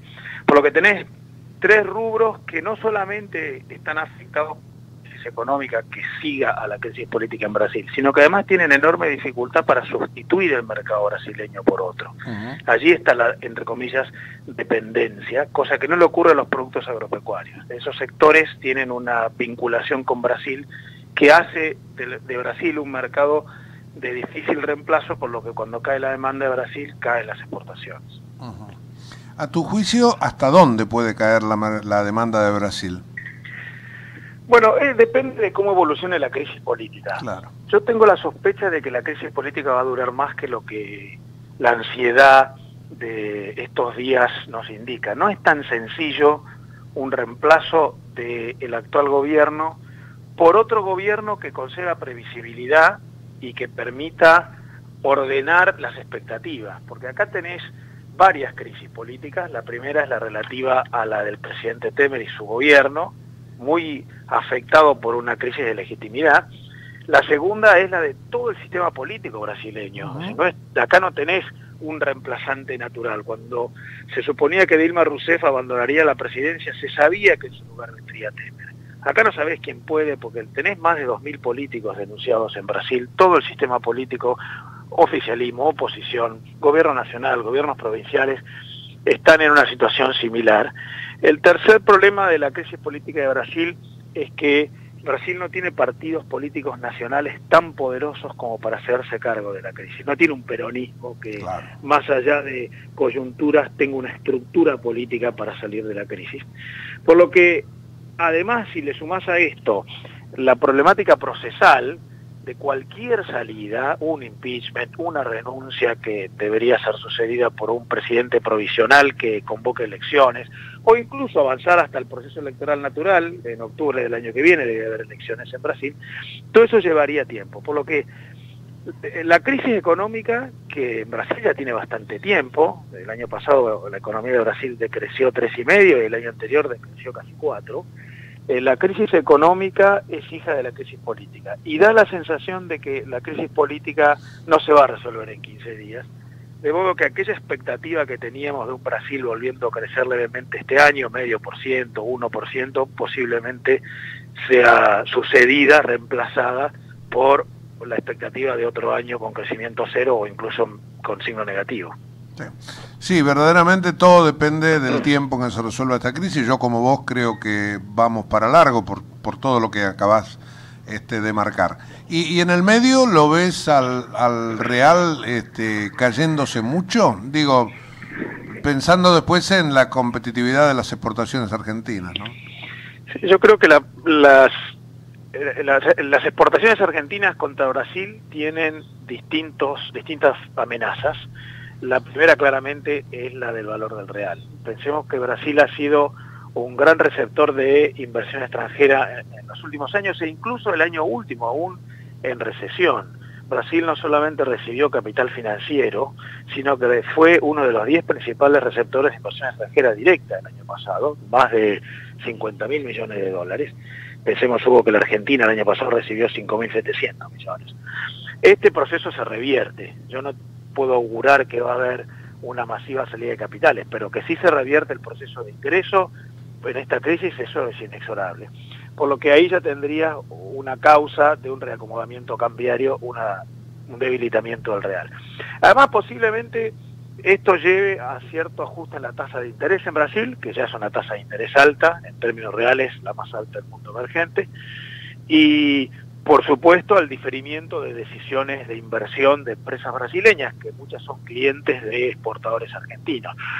Por lo que eh, lo más probable es que tengas eh, por distintos lados una afección para el comercio exterior argentino y entre ellas, entre las distintas vías de afección, está el ajuste cambiario. Yo no sé hasta dónde llega. Brasil no es un país en el cual eh, el impacto cambiario de una crisis política sea tan extraordinario como pasa en la Argentina, eh, pero lo más probable es que tengas un, un real más débil y eso frente a un atraso cambiario como el que tiene la Argentina en el tipo de cambio bilateral, bueno, para la Argentina no es una buena noticia. Bueno, y todo esto, eh, además, pone entre paréntesis este cúmulo de reformas que impulsaba el actual presidente, ¿no? Yo creo que eso es un aspecto muy serio de este problema, eh, porque la verdad es que más allá de lo que podamos decir de- del gobierno de Temer y de la aguda crisis de todo el sistema político brasileño, hay que insistir en que esta es una crisis terminal de todo un sistema político, no de un gobierno. A la vez hay que aceptar que el presidente Temer estaba aprovechando la ocasión para poner en marcha reformas que Brasil necesita y que incluso le iban a dar a Brasil, todavía se la pueden dar si en esto se avanza, un salto de competitividad. Brasil incorporó ya en una reforma constitucional un congelamiento del gasto público real por 20 años.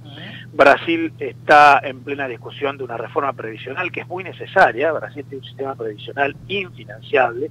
El promedio de edad de jubilación en Brasil es 54 años y ese sistema es una de las causas de los problemas fiscales de Brasil. Brasil también ha puesto en marcha, todavía no sabemos si tendrá éxito, el presidente Temer lo impulsaba y parecía que había avances en la consecución de consenso para eso, una desregulación laboral. Todo eso le iba a conceder a Brasil, además de los ajustes que está produciendo, por ejemplo el cambiario, una, una plataforma de competitividad que le iba a permitir volver a ser un gran actor eh, en materia internacional, tanto en comercio como en inversiones. Claramente esta crisis congela cualquier iniciativa política, como también congelará la posibilidad de Brasil de asignar capital político a la agenda internacional y en particular al Mercosur. Yo me pregunto ahora si eh, la búsqueda de un acuerdo preliminar en la negociación con la Unión Europea por parte del Mercosur puede ser optimista, porque casualmente en el segundo semestre que se inicia en breve es Brasil el que debe asumir la presidencia por tempore del Mercosur. Entonces me parece que posiblemente tengamos un gobierno con dificultades para pasar por el Congreso reformas como las que venía poniendo en marcha, que eran una plataforma para la mejora de la competitividad de Brasil, algo que iba a poner a Brasil otra vez en carrera como una de las grandes economías del mundo, lo sigue siendo, es una de las diez mayores. Sin dudas, eh, ahora Brasil estará más preocupado por, primero, salvar el gobierno o segundo, conducir una transición que no sea desordenada y tendrá menos posibilidades reales de llevar adelante estas reformas que venía impulsando el gobierno del presidente Temer. Marcelo, muchas gracias eh, también a vos y este, la verdad que el tema de Brasil nos va a seguir dando que hablar durante el resto del año, supongo yo. Así que la seguimos en cualquier momento. ¿eh? Un gusto, Hugo. Gracias por el llamado. Buen día. Chao. Marcelo Elizondo, titular de DNI.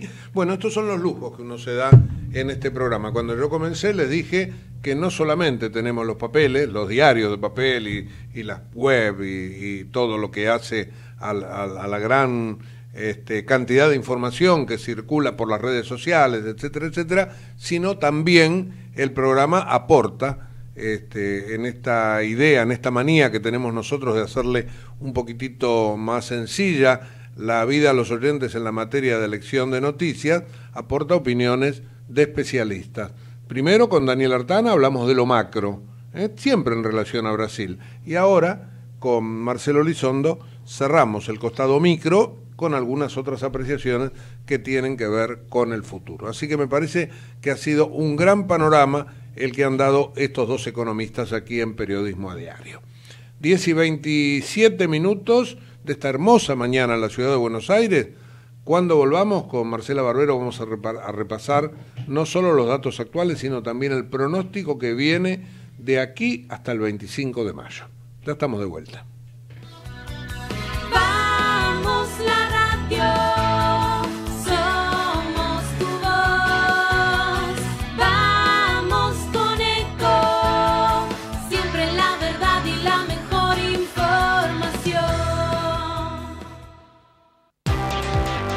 Pero qué tarde, ¿qué se me hizo? Me tengo que apurar porque si no, no llego, no llego, no llego. No, ¿pero seguro? ¿Qué problema? Eh, bueno, vamos a encontrar una solución. Bancame ahí que en dos minutos estoy con vos. Bueno, vos ahora te tenés que ir. Sí, pero yo quiero hablar de esto ahora. Cuando llegue a casa te llamo. Te- Tres de cada diez muertos en el tránsito son peatones. Cruzá siempre por la senda peatonal o esquina, respetando los semáforos. Allí, todos los vehículos deben darte prioridad. Luchemos por la vida. Podés vernos en vivo en ecohd.com.ar.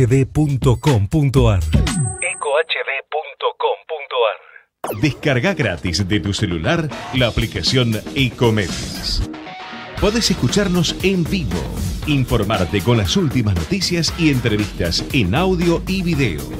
Búscala y bajate la aplicación Ecomedios. Conectate con nosotros. eco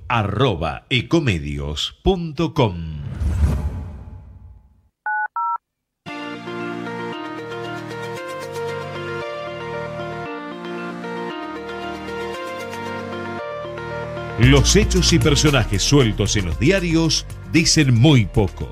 En Periodismo a Diario ponemos en contexto la información para darle valor agregado a las noticias.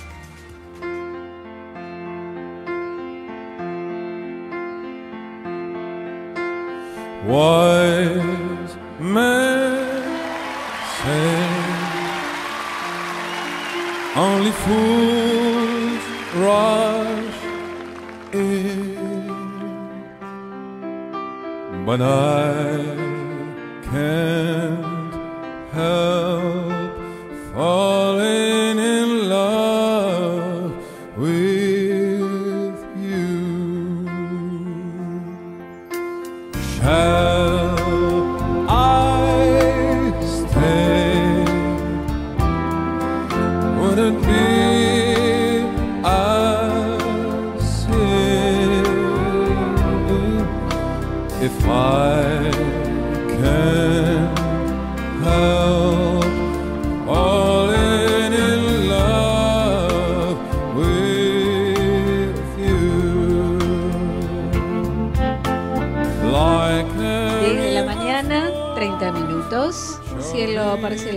nublado en Buenos Aires. 16 grados la temperatura. 69 el porcentaje de la humedad. 1015 decimal 2 hectopascales la presión. Recordamos la máxima pronosticada para este lunes es de 19 grados. Se me Bueno. está tapando la nariz. Ah, bueno, bueno. ¿Cómo, cómo No puedo. te, te escuchás para llegar hasta el jueves con el pronóstico? Sí, ¿Podés? sí, sí, sí, sí, sí. Bueno. Mañana martes, 13 de mínima, 19 grados la máxima, con nubosidad variable, con similares condiciones a las del día de hoy, igual que el miércoles. 13 de mínima, 18 grados de máxima, con nubosidad en aumento y cielo parcialmente nublado o nublado.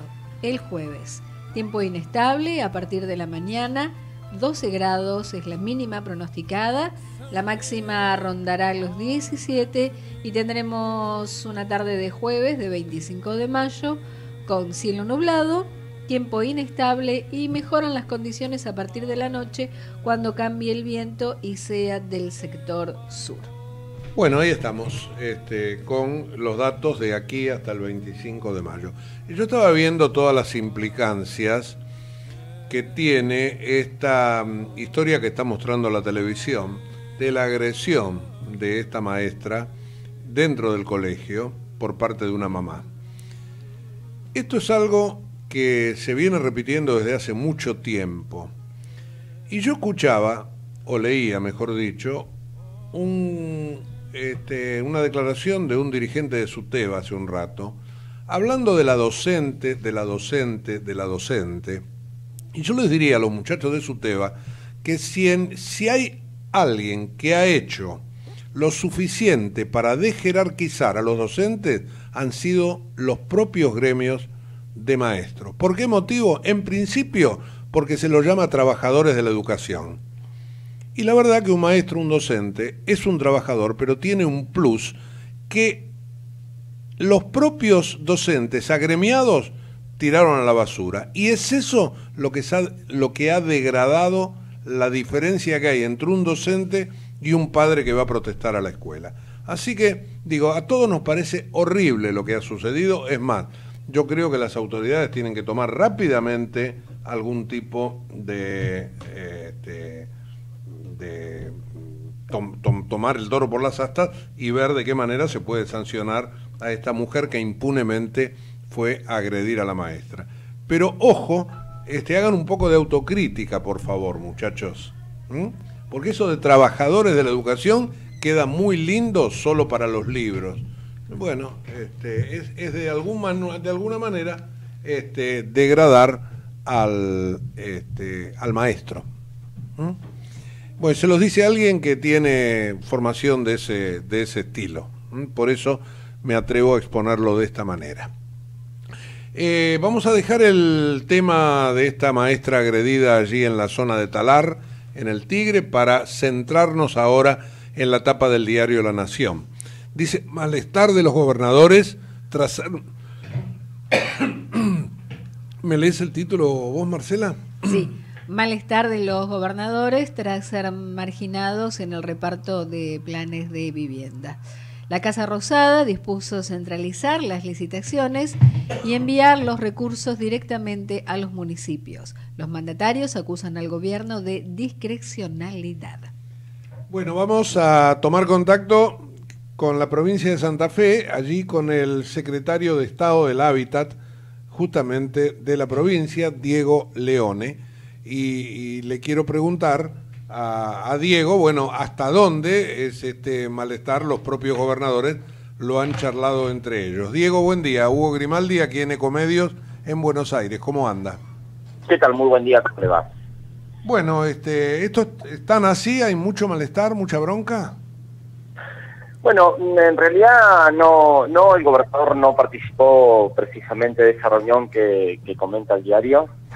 Eh, la realidad nuestra de la provincia de Santa Fe es que venimos trabajando junto al gobierno nacional de manera coordinada. Eh, con la salvedad, éramos un gobierno que anteriormente no recibíamos recursos, eh, fondos federales para poder ejecutar vivienda y lo que nosotros hoy pretendemos es mucha mayor cantidad de la que en realidad pudimos empezar a ejecutar. Ahora, este, ¿los fondos van directamente a las comunas o, pasan por la gobernación? Bueno, aquí hay que, hay que separar dos cosas. Los fondos que van destinados a obra de vivienda, que es ejecución de la vivienda propiamente dicha, y después están los fondos manejados por la Subsecretaría de Hábitat para eh, realizar mejoras barriales, es mejora en infraestructura, pavimentos, desagües, cloacales, pluviales.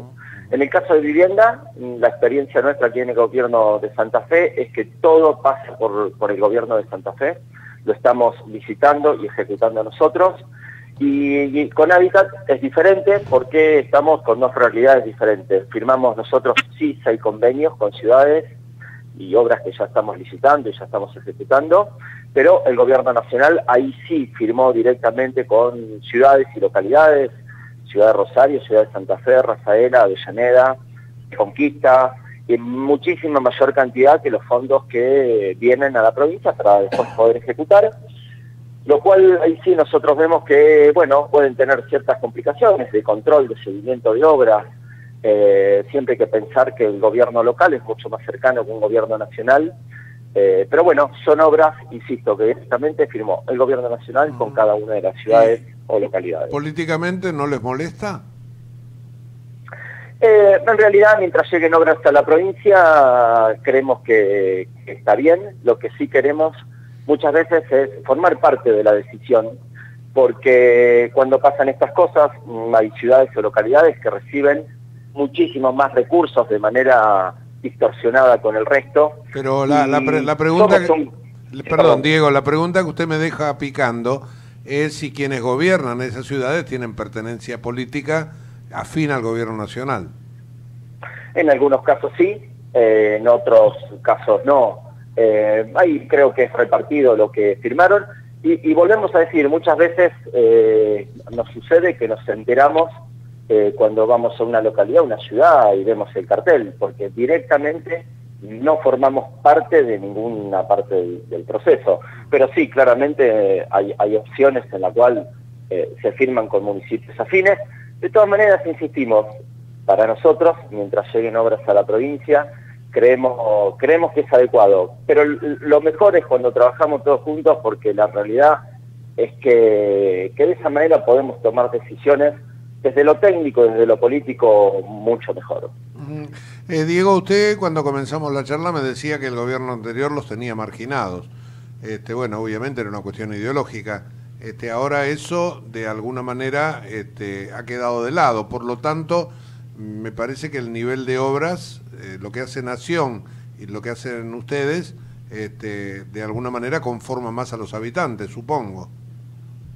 Sí, claramente. eh, no- nosotros no recibíamos fondos federales para ejecutar vivienda. Sí, los fondos FONAVI, sí, eso es una ley. Pero los fondos federales, que, que son estos que están en discusión hoy, no los recibíamos. Insisto sobre lo mismo, comenzamos a recibir, no en la medida que nosotros pretendemos, por cantidad de habitantes, por, por, por movimiento económico que tiene la provincia, fundamentalmente por déficit habitacional que tenemos creemos que tenemos que recibir eh, muchísimos más fondos, pero pudimos romper esa inercia y claramente son obras que están llegando a la provincia, que están empezando a llegar y, vamos a seguir insistiendo y trabajando junto al gobierno nacional en la medida de lo que podamos para, para poder trabajar mucho mejor, ¿sí? Está bien, le, le hago la última y ya no tiene tanto que ver con el hábitat, sino más con la infraestructura de la provincia, que usted obviamente conoce. Este, fondos nacionales o aún de la provincia están siendo volcadas. Este, uno piensa, generalmente Santa Fe, este, con sus puertos, este, toda la zona de Rosario, de alrededores, etcétera, necesita mucha infraestructura en rutas, por ejemplo. ¿Algo de esto se está haciendo? Eh, la obra más grande que se está haciendo es la circunvalación de la ciudad de Rosario, que fue una obra que ya venía de la gestión anterior, y un tramo de la ruta 34 a la altura de Rafaela y Sunchales. Y sí, claramente quedan obras muy importantes para hacer. Tenemos una provincia radial respecto a- al Gran Rosario, como, como usted decía, respecto a los puertos. Son obras que están en proyecto, que están evaluándose, eh, y lo que insistimos políticamente desde que arrancamos la gestión, junto a todos los ministerios, Secretaría de Estado, es que estas obras puedan dar inicio rápidamente, porque si bien están comprometidas y demás, son obras que todavía no pudieron empezar. Creemos que la, mayoría de los granos de la provincia o del país salen desde todos los puertos del Gran Rosario y estas obras viales son fundamentales. No quedándonos sin esto, el gobernador definió por distintos modos eh, reforzar todas las partidas y hoy se está haciendo un plan de infraestructura sobre rutas provinciales y locales, eh, el más grande que haya tenido la, provincia de Santa Fe. Pero las rutas nacionales claramente son de incumbencia nacional, son obras que tiene que bueno financiar y ejecutar el gobierno nacional. Bueno, Diego, ahora sí, muchísimas gracias. Este, ha sido muy amable por todo lo que nos ha comentado. ¿eh? Hasta la próxima. No, por favor, muy buenos días, hasta luego. Hasta luego. Diego Leones, el secretario de Estado de Hábitat de la provincia de Santa Fe, nos contó que el gobernador Lifchik no estuvo en la reunión de gobernadores, eran más peronistas que otra cosa, pero que evidentemente ellos están contentos que ahora reciben fondos, pero de alguna manera no les gustaría que todo lo que la nación le deriva directamente a las comunas o a los municipios en la provincia de Santa Fe, este, no les gusta ser puenteados. Es algo que tiene que ver con esto que dice la nación, tras ser marginados en el reparto de planes de vivienda. ¿eh?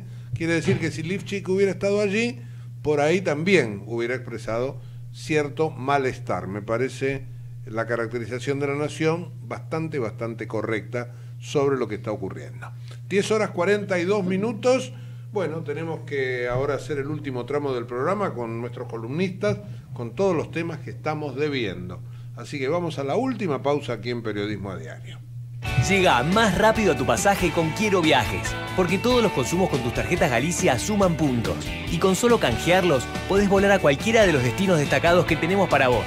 New York, Miami, Río de Janeiro, Santiago de Chile y muchos más. Empezá a planificar tu viaje en quiero.com.ar. Quiero requiere inscripción previa sujeto a cantidad de puntos disponibles y disponibilidad. Algunos destinos pueden requerir pasaporte y visa a cargo del turista. No incluye impuestos. La responsabilidad por la prestación corresponde al prestador. Banco Galicia solo es el medio de pago. Hoy Arcor cumple 65 años. Por eso celebramos que pensar en grande es posible. Que algo nacido en Córdoba haya llegado a todo el mundo.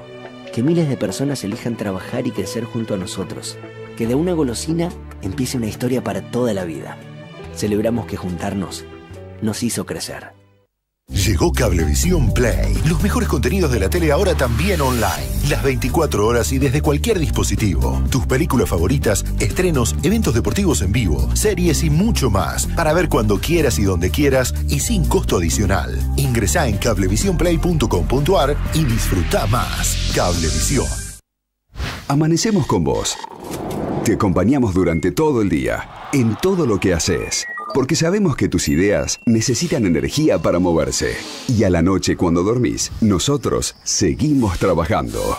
A la energía la cuidamos entre todos. Edesur. Si te digo que sos un inversor de la vida, ¿me crees? Acordate de ese momento en el que creíste que estabas comprando un pasaje de avión o cuando estabas pagando la pintura para terminar tu casa que tanto te costó ampliar. O cuando te anotaste en el curso de buceo, a pesar de lo que costaba todo el equipete. Hace memoria y te vas a dar cuenta de que en realidad estabas invirtiendo en tu vida, en las cosas que a vos te importan, en esas cosas que te convierten en un inversor de la vida. Banco Ciudad. Te quiere ver crecer, disfrutar, compartir, soñar. Desde hace 50 años, Tenaris Siderca trabaja la construcción de un sueño colectivo en el que la empresa industrial y su comunidad cercana crecen integradamente. Promovemos un crecimiento basado en la educación como variable clave para el desarrollo de las personas y las instituciones. En La Matanza terminamos de entregar computadoras, proyectores, pantallas y capacitamos a los docentes para que en nuestros 236 jardines de infantes se eduque con tecnología de avanzada. Aulas digitales, robótica en secundarios técnicos, inclusión tecnológica. Pensando en el futuro, trabajamos por la educación. Municipio de La Matanza. Matanza, avanza. ExxonMobil, líder en tecnología para la operación segura y eficiente de recursos no convencionales de gas y petróleo, está contribuyendo con el progreso del país desde sus operaciones en la provincia de Neuquén.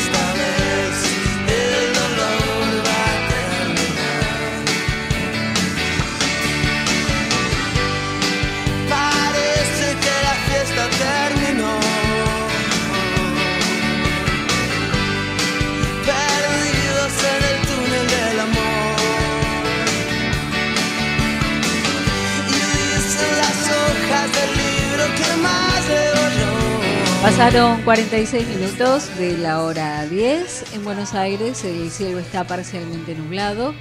16 grados la temperatura, 69 el porcentaje de la humedad. Vuelvo a Rafael Saralegui con otro de sus temas. Rafa. Hemos hablado al comienzo del programa del tema de la mm, Cristóbal López y esta, mm, este plan que acordó con la FIP, ¿no? Por la deuda que tenía con Oil, la petrolera, una deuda de 8 mil millones de pesos, que era por retención de, impuestos, ¿no? Lo que es- cada uno cuando va a cargar el tanque de nafta paga impuestos, las petroleras tienen que después derivarlo al Estado. Bueno, en este caso, Oil se lo había quedado y se supone que después usó ese dinero para expandir al grupo, grupo Indalo. Lo que se supo ahora que finalmente el 30 de marzo, una nota que escribe nuestra colega Lucía Salinas en Clarín, eh, el 30 de marzo em, la FIP le permitió a él integrar, eh, em, acudir o, o, ser admitido en la moratoria fiscal para pagar esta deuda de 8 mil millones de pesos, algo que le había negado en noviembre del año pasado.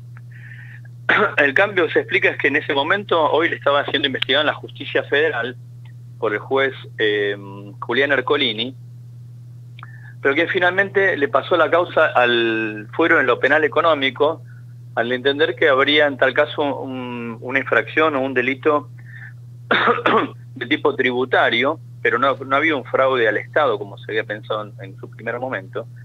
Por eso, al parecer, fue el cambio de actitud entonces de la FIP, de en noviembre negarle la posibilidad de integrarse a la moratoria y ahora en marzo eh, sí permitírselo. Se supone entonces por este cambio de fuero y, de, y del destino de la causa, ¿no? Que, que no que se pasó del federal al, al fuero penal económico y no derivó en el procesamiento de Cristóbal López. Con lo cual, la FIP entonces le permite acceder a la moratoria como a otros, como otros grupos empresarios o otras empresas. ¿no? Lo que se supone es que hoy va a acordar eh, el pago de una cifra de 7 mil millones de pesos de la deuda a partir de la venta de activos a un grupo suizo, sobre todo se habla de una destilería que le pertenece a Oil, con lo cual de esa manera tendría capital para eh, hacer un pago de 7 mil millones de pesos y el, resto, y el resto, los mil millones que faltan, los pagaría a través de la moratoria en varias, en varias cuotas.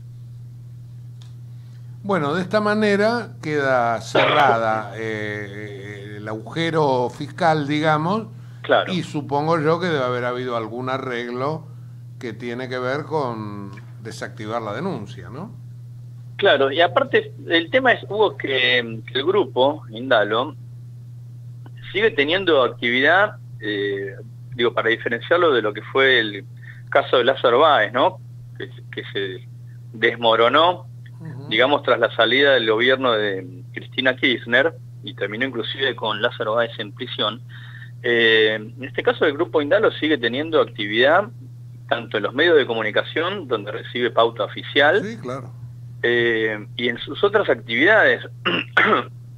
se le acaba de adjudicar obras en la provincia de Santa Cruz para, para llevar adelante um, trabajos en, en carreteras, está explotando la autopista Richeri, ahí hay un conflicto porque el gobierno dice que no incumplió con, con, el plan de obras, mientras que el grupo amenaza con una, un juicio millonario también si le rescinden el contrato, con lo cual, eh, digo, más allá del conflicto con Oil, es un grupo que sigue en actividad y que inclusive tiene eso, contratos con el actual gobierno.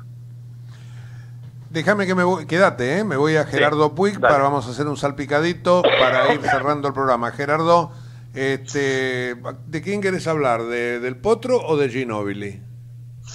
Bueno, vamos, vamos por, por orden, si querés, de, de, importancia por lo que se está jugando. Hoy a la noche, Manu Ginobili intentando darle vida a, San Antonio Spurs en, obviamente, una final que él definió eh, en la previa de, de, del tercer partido como eh, casi imposible remontar si es que efectivamente, y como ocurrió, Golden State eh, quedaba match point. Bueno, justamente eh, esta serie parece cosa juzgada, bueno, intentarán Ginobili y, sus compañeros eh, evitarlo y, darle al menos un partido más a, esta eliminatoria. 3-0 gana el equipo de, Stephen Curry. Será el último partido de Ginobili. Bueno, en la última rueda de prensa, después de un entrenamiento en, San Antonio, eh, dio algunas vueltas, dijo, lo, pensaré una vez que, que, termine, pero estoy con la cabeza en esta serie.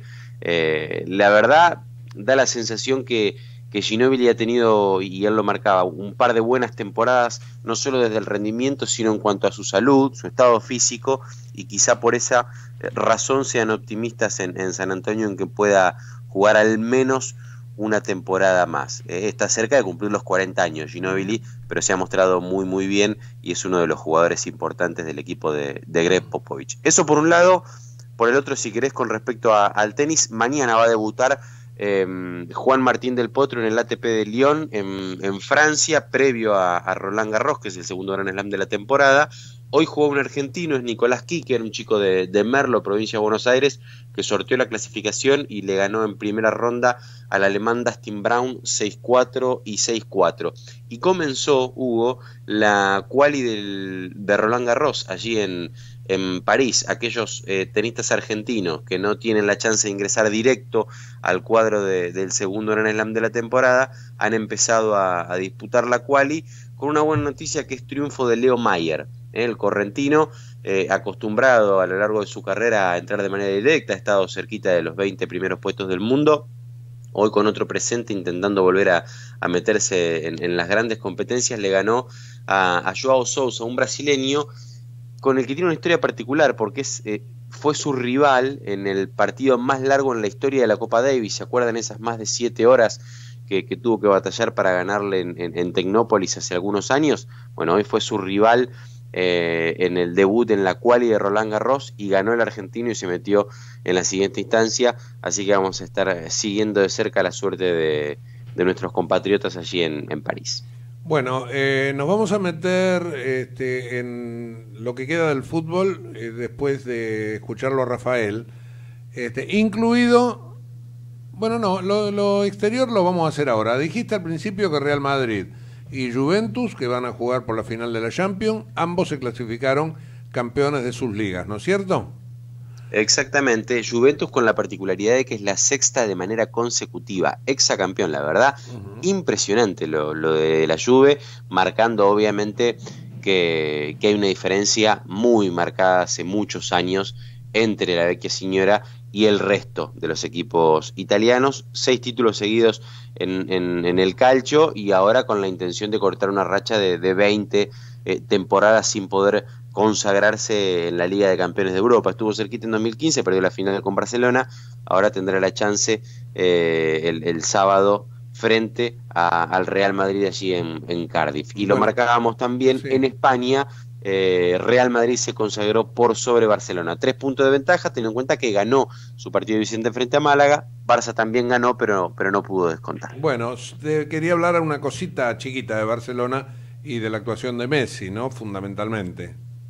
Dos goles marcó el, Rosarino, falló un penal, perdía 2 a 1 el, conjunto catalán, lo empató finalmente en, su segundo penal el Rosarino y después marcó un tercer gol, eh, que fue el cuarto de, del Barça, realmente impresionante, impresionante tomando la pelota literalmente desde la mitad de la cancha, eh, eludiendo rivales con, con una mague que, que es amague moviendo la cintura nada más dejaba parado a sus rivales, la verdad impresionante lo de, lo de Messi que se quedó con la bota de oro. La bota de oro es el, premio al goleador de las ligas de Europa. Bueno, Lionel Messi dejó bastante atrás a, Cristiano Ronaldo, a sus compañeros Neymar y, Luis Suárez. Le ganó la, carrera individual. Por ahora, obviamente, en cuanto a logros de, equipo, Cristiano está, está por encima en esta temporada porque es campeón de la Liga Española y, y podría serlo si se consagran en la Champions League. Bueno, eh, Voy a Rafael y después cierro con vos. Quédate en línea. Rafael, ¿algún otro tema que ya estamos este, prácticamente clausurando el programa? Hugo, habíamos hablado al comienzo, ¿te acordás de un convenio que está por firmar o que se firmó entre el Ministerio de Justicia y la Corte Suprema eh, para dotar de mayor em, poder, si se quiere, a la Oficina de Captación de Comunicaciones, lo que era antes la OJ de la CIDE, la Oficina de Captación, es la que realiza las pinchaduras de teléfonos em, obviamente por orden judicial. Este organismo que antes dependía de la CIDE, en, el último tramo del gobierno de Cristina Kirchner se lo pasó a la Procuración. Cuando asume Mauricio Macri se lo saca a la Procuración como una forma de quitarle poder a Alejandra Gil Carbo y se lo transfiere a la Corte Suprema. Ahora se está estudiando que la misma oficina tenga también acceso a eh, bases de datos de, del organismo del Ministerio de Justicia como la Inspección General de Justicia, el registro de propiedad inmueble, el registro de propiedad automotor, y al mismo tiempo se analizan firmar convenios similares con la UIF y con la FIP. De manera que esta oficina centraría no solo toda la información referida a la intervención telefónica, sino a la solicitud de información de los jueces cuando tienen una causa en trámite y requieren información, eso sobre si alguna persona tiene una propiedad, una embarcación, un vehículo, eh, todo esto se canalizaría entonces a través de esta oficina de la Corte, con lo cual se agilizaría la, el pedido de información porque la, esta oficina tendría eh, acceso directo a estas bases, entonces ev- evitaría la, el paso por el organismo, cada organismo del Estado, del Poder Ejecutivo, se canalizaría todo a través de esta oficina que hoy depende de la Corte Suprema. Bueno, Rafael, mañana la seguimos. ¿Qué te parece? Cómo no, un abrazo grande. Bueno, ahí cerramos con Rafael Saralegui y te prometí eh, para vos este, lo último, Gerardo. Bueno, actualicemos entonces eh, los horarios de los partidos de esta noche que van a cerrar la vigésimo quinta fecha del torneo de Primera División. Eh, a las 7 de la tarde, Olimpo recibe a Estudiantes. Olimpo en la pelea por la permanencia, eh, Estudiantes queriendo ratificar su eh, posición allí entre los clasificados a la siguiente Copa Libertadores. Decía 7 de la tarde en Bahía Blanca. Y después un partido muy interesante, al menos en la previa, 9 y cuarto de la noche en el Bosque Platense, Gimnasia, que quiere recuperarse y volver a festejar, frente a River, eh, que necesita una victoria si quiere soñar con arrebatarle el título a Boca. Muy bien, llegó Carlos Clerici, así que seguimos con él haciendo algún comentario de River. Te mando un abrazo, te esperamos mañana por acá. Un abrazo grande. Bueno, Gerardo Puig entonces, con todo el deporte, diciendo, como venimos diciendo que comenzó el programa, que solo depende de River ser segundo hoy. Claro. ¿No es cierto? ¿Cómo te va? Sí, señor. Carlos? Buen día, ¿cómo va? Qué loco, ¿no? El fútbol, porque. Qué bárbaro. Se quedó entre River y Boca el campeonato. Sí. Parece, Independiente, yo diría, ¿eh? Sí. Independiente tiene una chance. Está a 8, con un partido menos, puede estar a 5, y ganándole a Boca estaría a 2. O sea que Sí, también. también. se yo creo que es el tercero en cuestión Sí, en este momento. Decía lo mismo esta mañana. Este, decía lo mismo esta mañana Gerardo. Porque tienen que jugar con Boca. Sí, bueno, además no todos los partidos van a encontrar ayuditas de los árbitros. ¿En Bueno, cuál sentido? bueno, ¿En qué llorón, sentido lo que diría? vino, está resentido desde el sábado a la noche. Hay que ganarle a Boca también, Huracán, ¿eh? Porque si no, nos comprometemos. Bueno, ¿Cuánto van a poner? los muchachos hace como tres meses que no cobran. Ahora uno calcula, uno dice a priori, después lo vamos a charlar con Tomás también en el programa, digo, uno dice a priori, y Boca tiene estos partidos difíciles, Newell, Huracán. Después viene fácil, Aldo Civi, Olimpo. claro, mirá Mirá San Aldo. Mirá Aldo con San Lorenzo. O River, que dice, bueno, tiene difícil con San Lorenzo, con Racing. Mira San Lorenzo, mira Racing. Me parece que en este momento del campeonato los difíciles son los que pelean el descenso. Más que los candidatos. Y sí. Porque se juegan la vida para quedarse en la categoría. Mirá, por ejemplo, Mirá ayer- Arsenal, Arsenal como está. Mirá Temperley. Temperley, El Arsenal. segundo equipo de ella. Claro. El Colón venía. Ah, 3 a 0. Banfield venía bárbaro, a Tucumán 3 a 0. Pues, todo muy loco, por eso. Bueno, todos jugaron para Boca y para River. Ujú. Obviamente también para Para Independiente. Independiente. si Ujú. sabe aprovechar su momento. Veremos. A mí me da esa cosita como, como hincha de River, pero además que no quiero que sea campeón Boca, pues es natural eso. Yo lo, lo pongo de manifiesto. Uno dice, mejor que todos se sumen a la pelea, ¿no? Eh, por las dudas River no llegue. Bueno, ahora es un mano a mano prácticamente. No, claro, ahora es un mano- me Es parece un que mano a es un mano. mano a mano. Claro. Bueno, Carlos, este, nos vamos. ¿eh? Exprimimos bastante el tema Brasil. Sí, señor. Me parece que sigue siendo lo más importante Sí. para la Argentina inclusive. Sobre todo por sus consecuencias, ¿no? Sobre la economía. Creo, creo que la gran clave es el tiempo que dure esta crisis, eh, mirándolo desde el lado argentino. ¿no? Claro, si se prolonga en el tiempo Sí, o si es un así fugaz. No parece. Sí, no parece, porque lo de Temer está bravo, ¿no? Bueno, este, Marcela, datos actuales tenés? ¿Todavía no? ¿Las No, 11? todavía no. Nos vamos con los de las 10, con 16 grados de temperatura. Está muy agradable. Muy la agradable. La verdad que yo cuando amanecí hoy pensé, digo, bueno, abrigarse, veníamos en fin de Claro, semana, un frío el sábado, a la noche, todo, ¿no? Y No, hoy no, es un día primaveral casi. Sí, sí. Sí, 16 es la temperatura actual. También el porcentaje de la humedad ha ido descendiendo. Ahora es de 39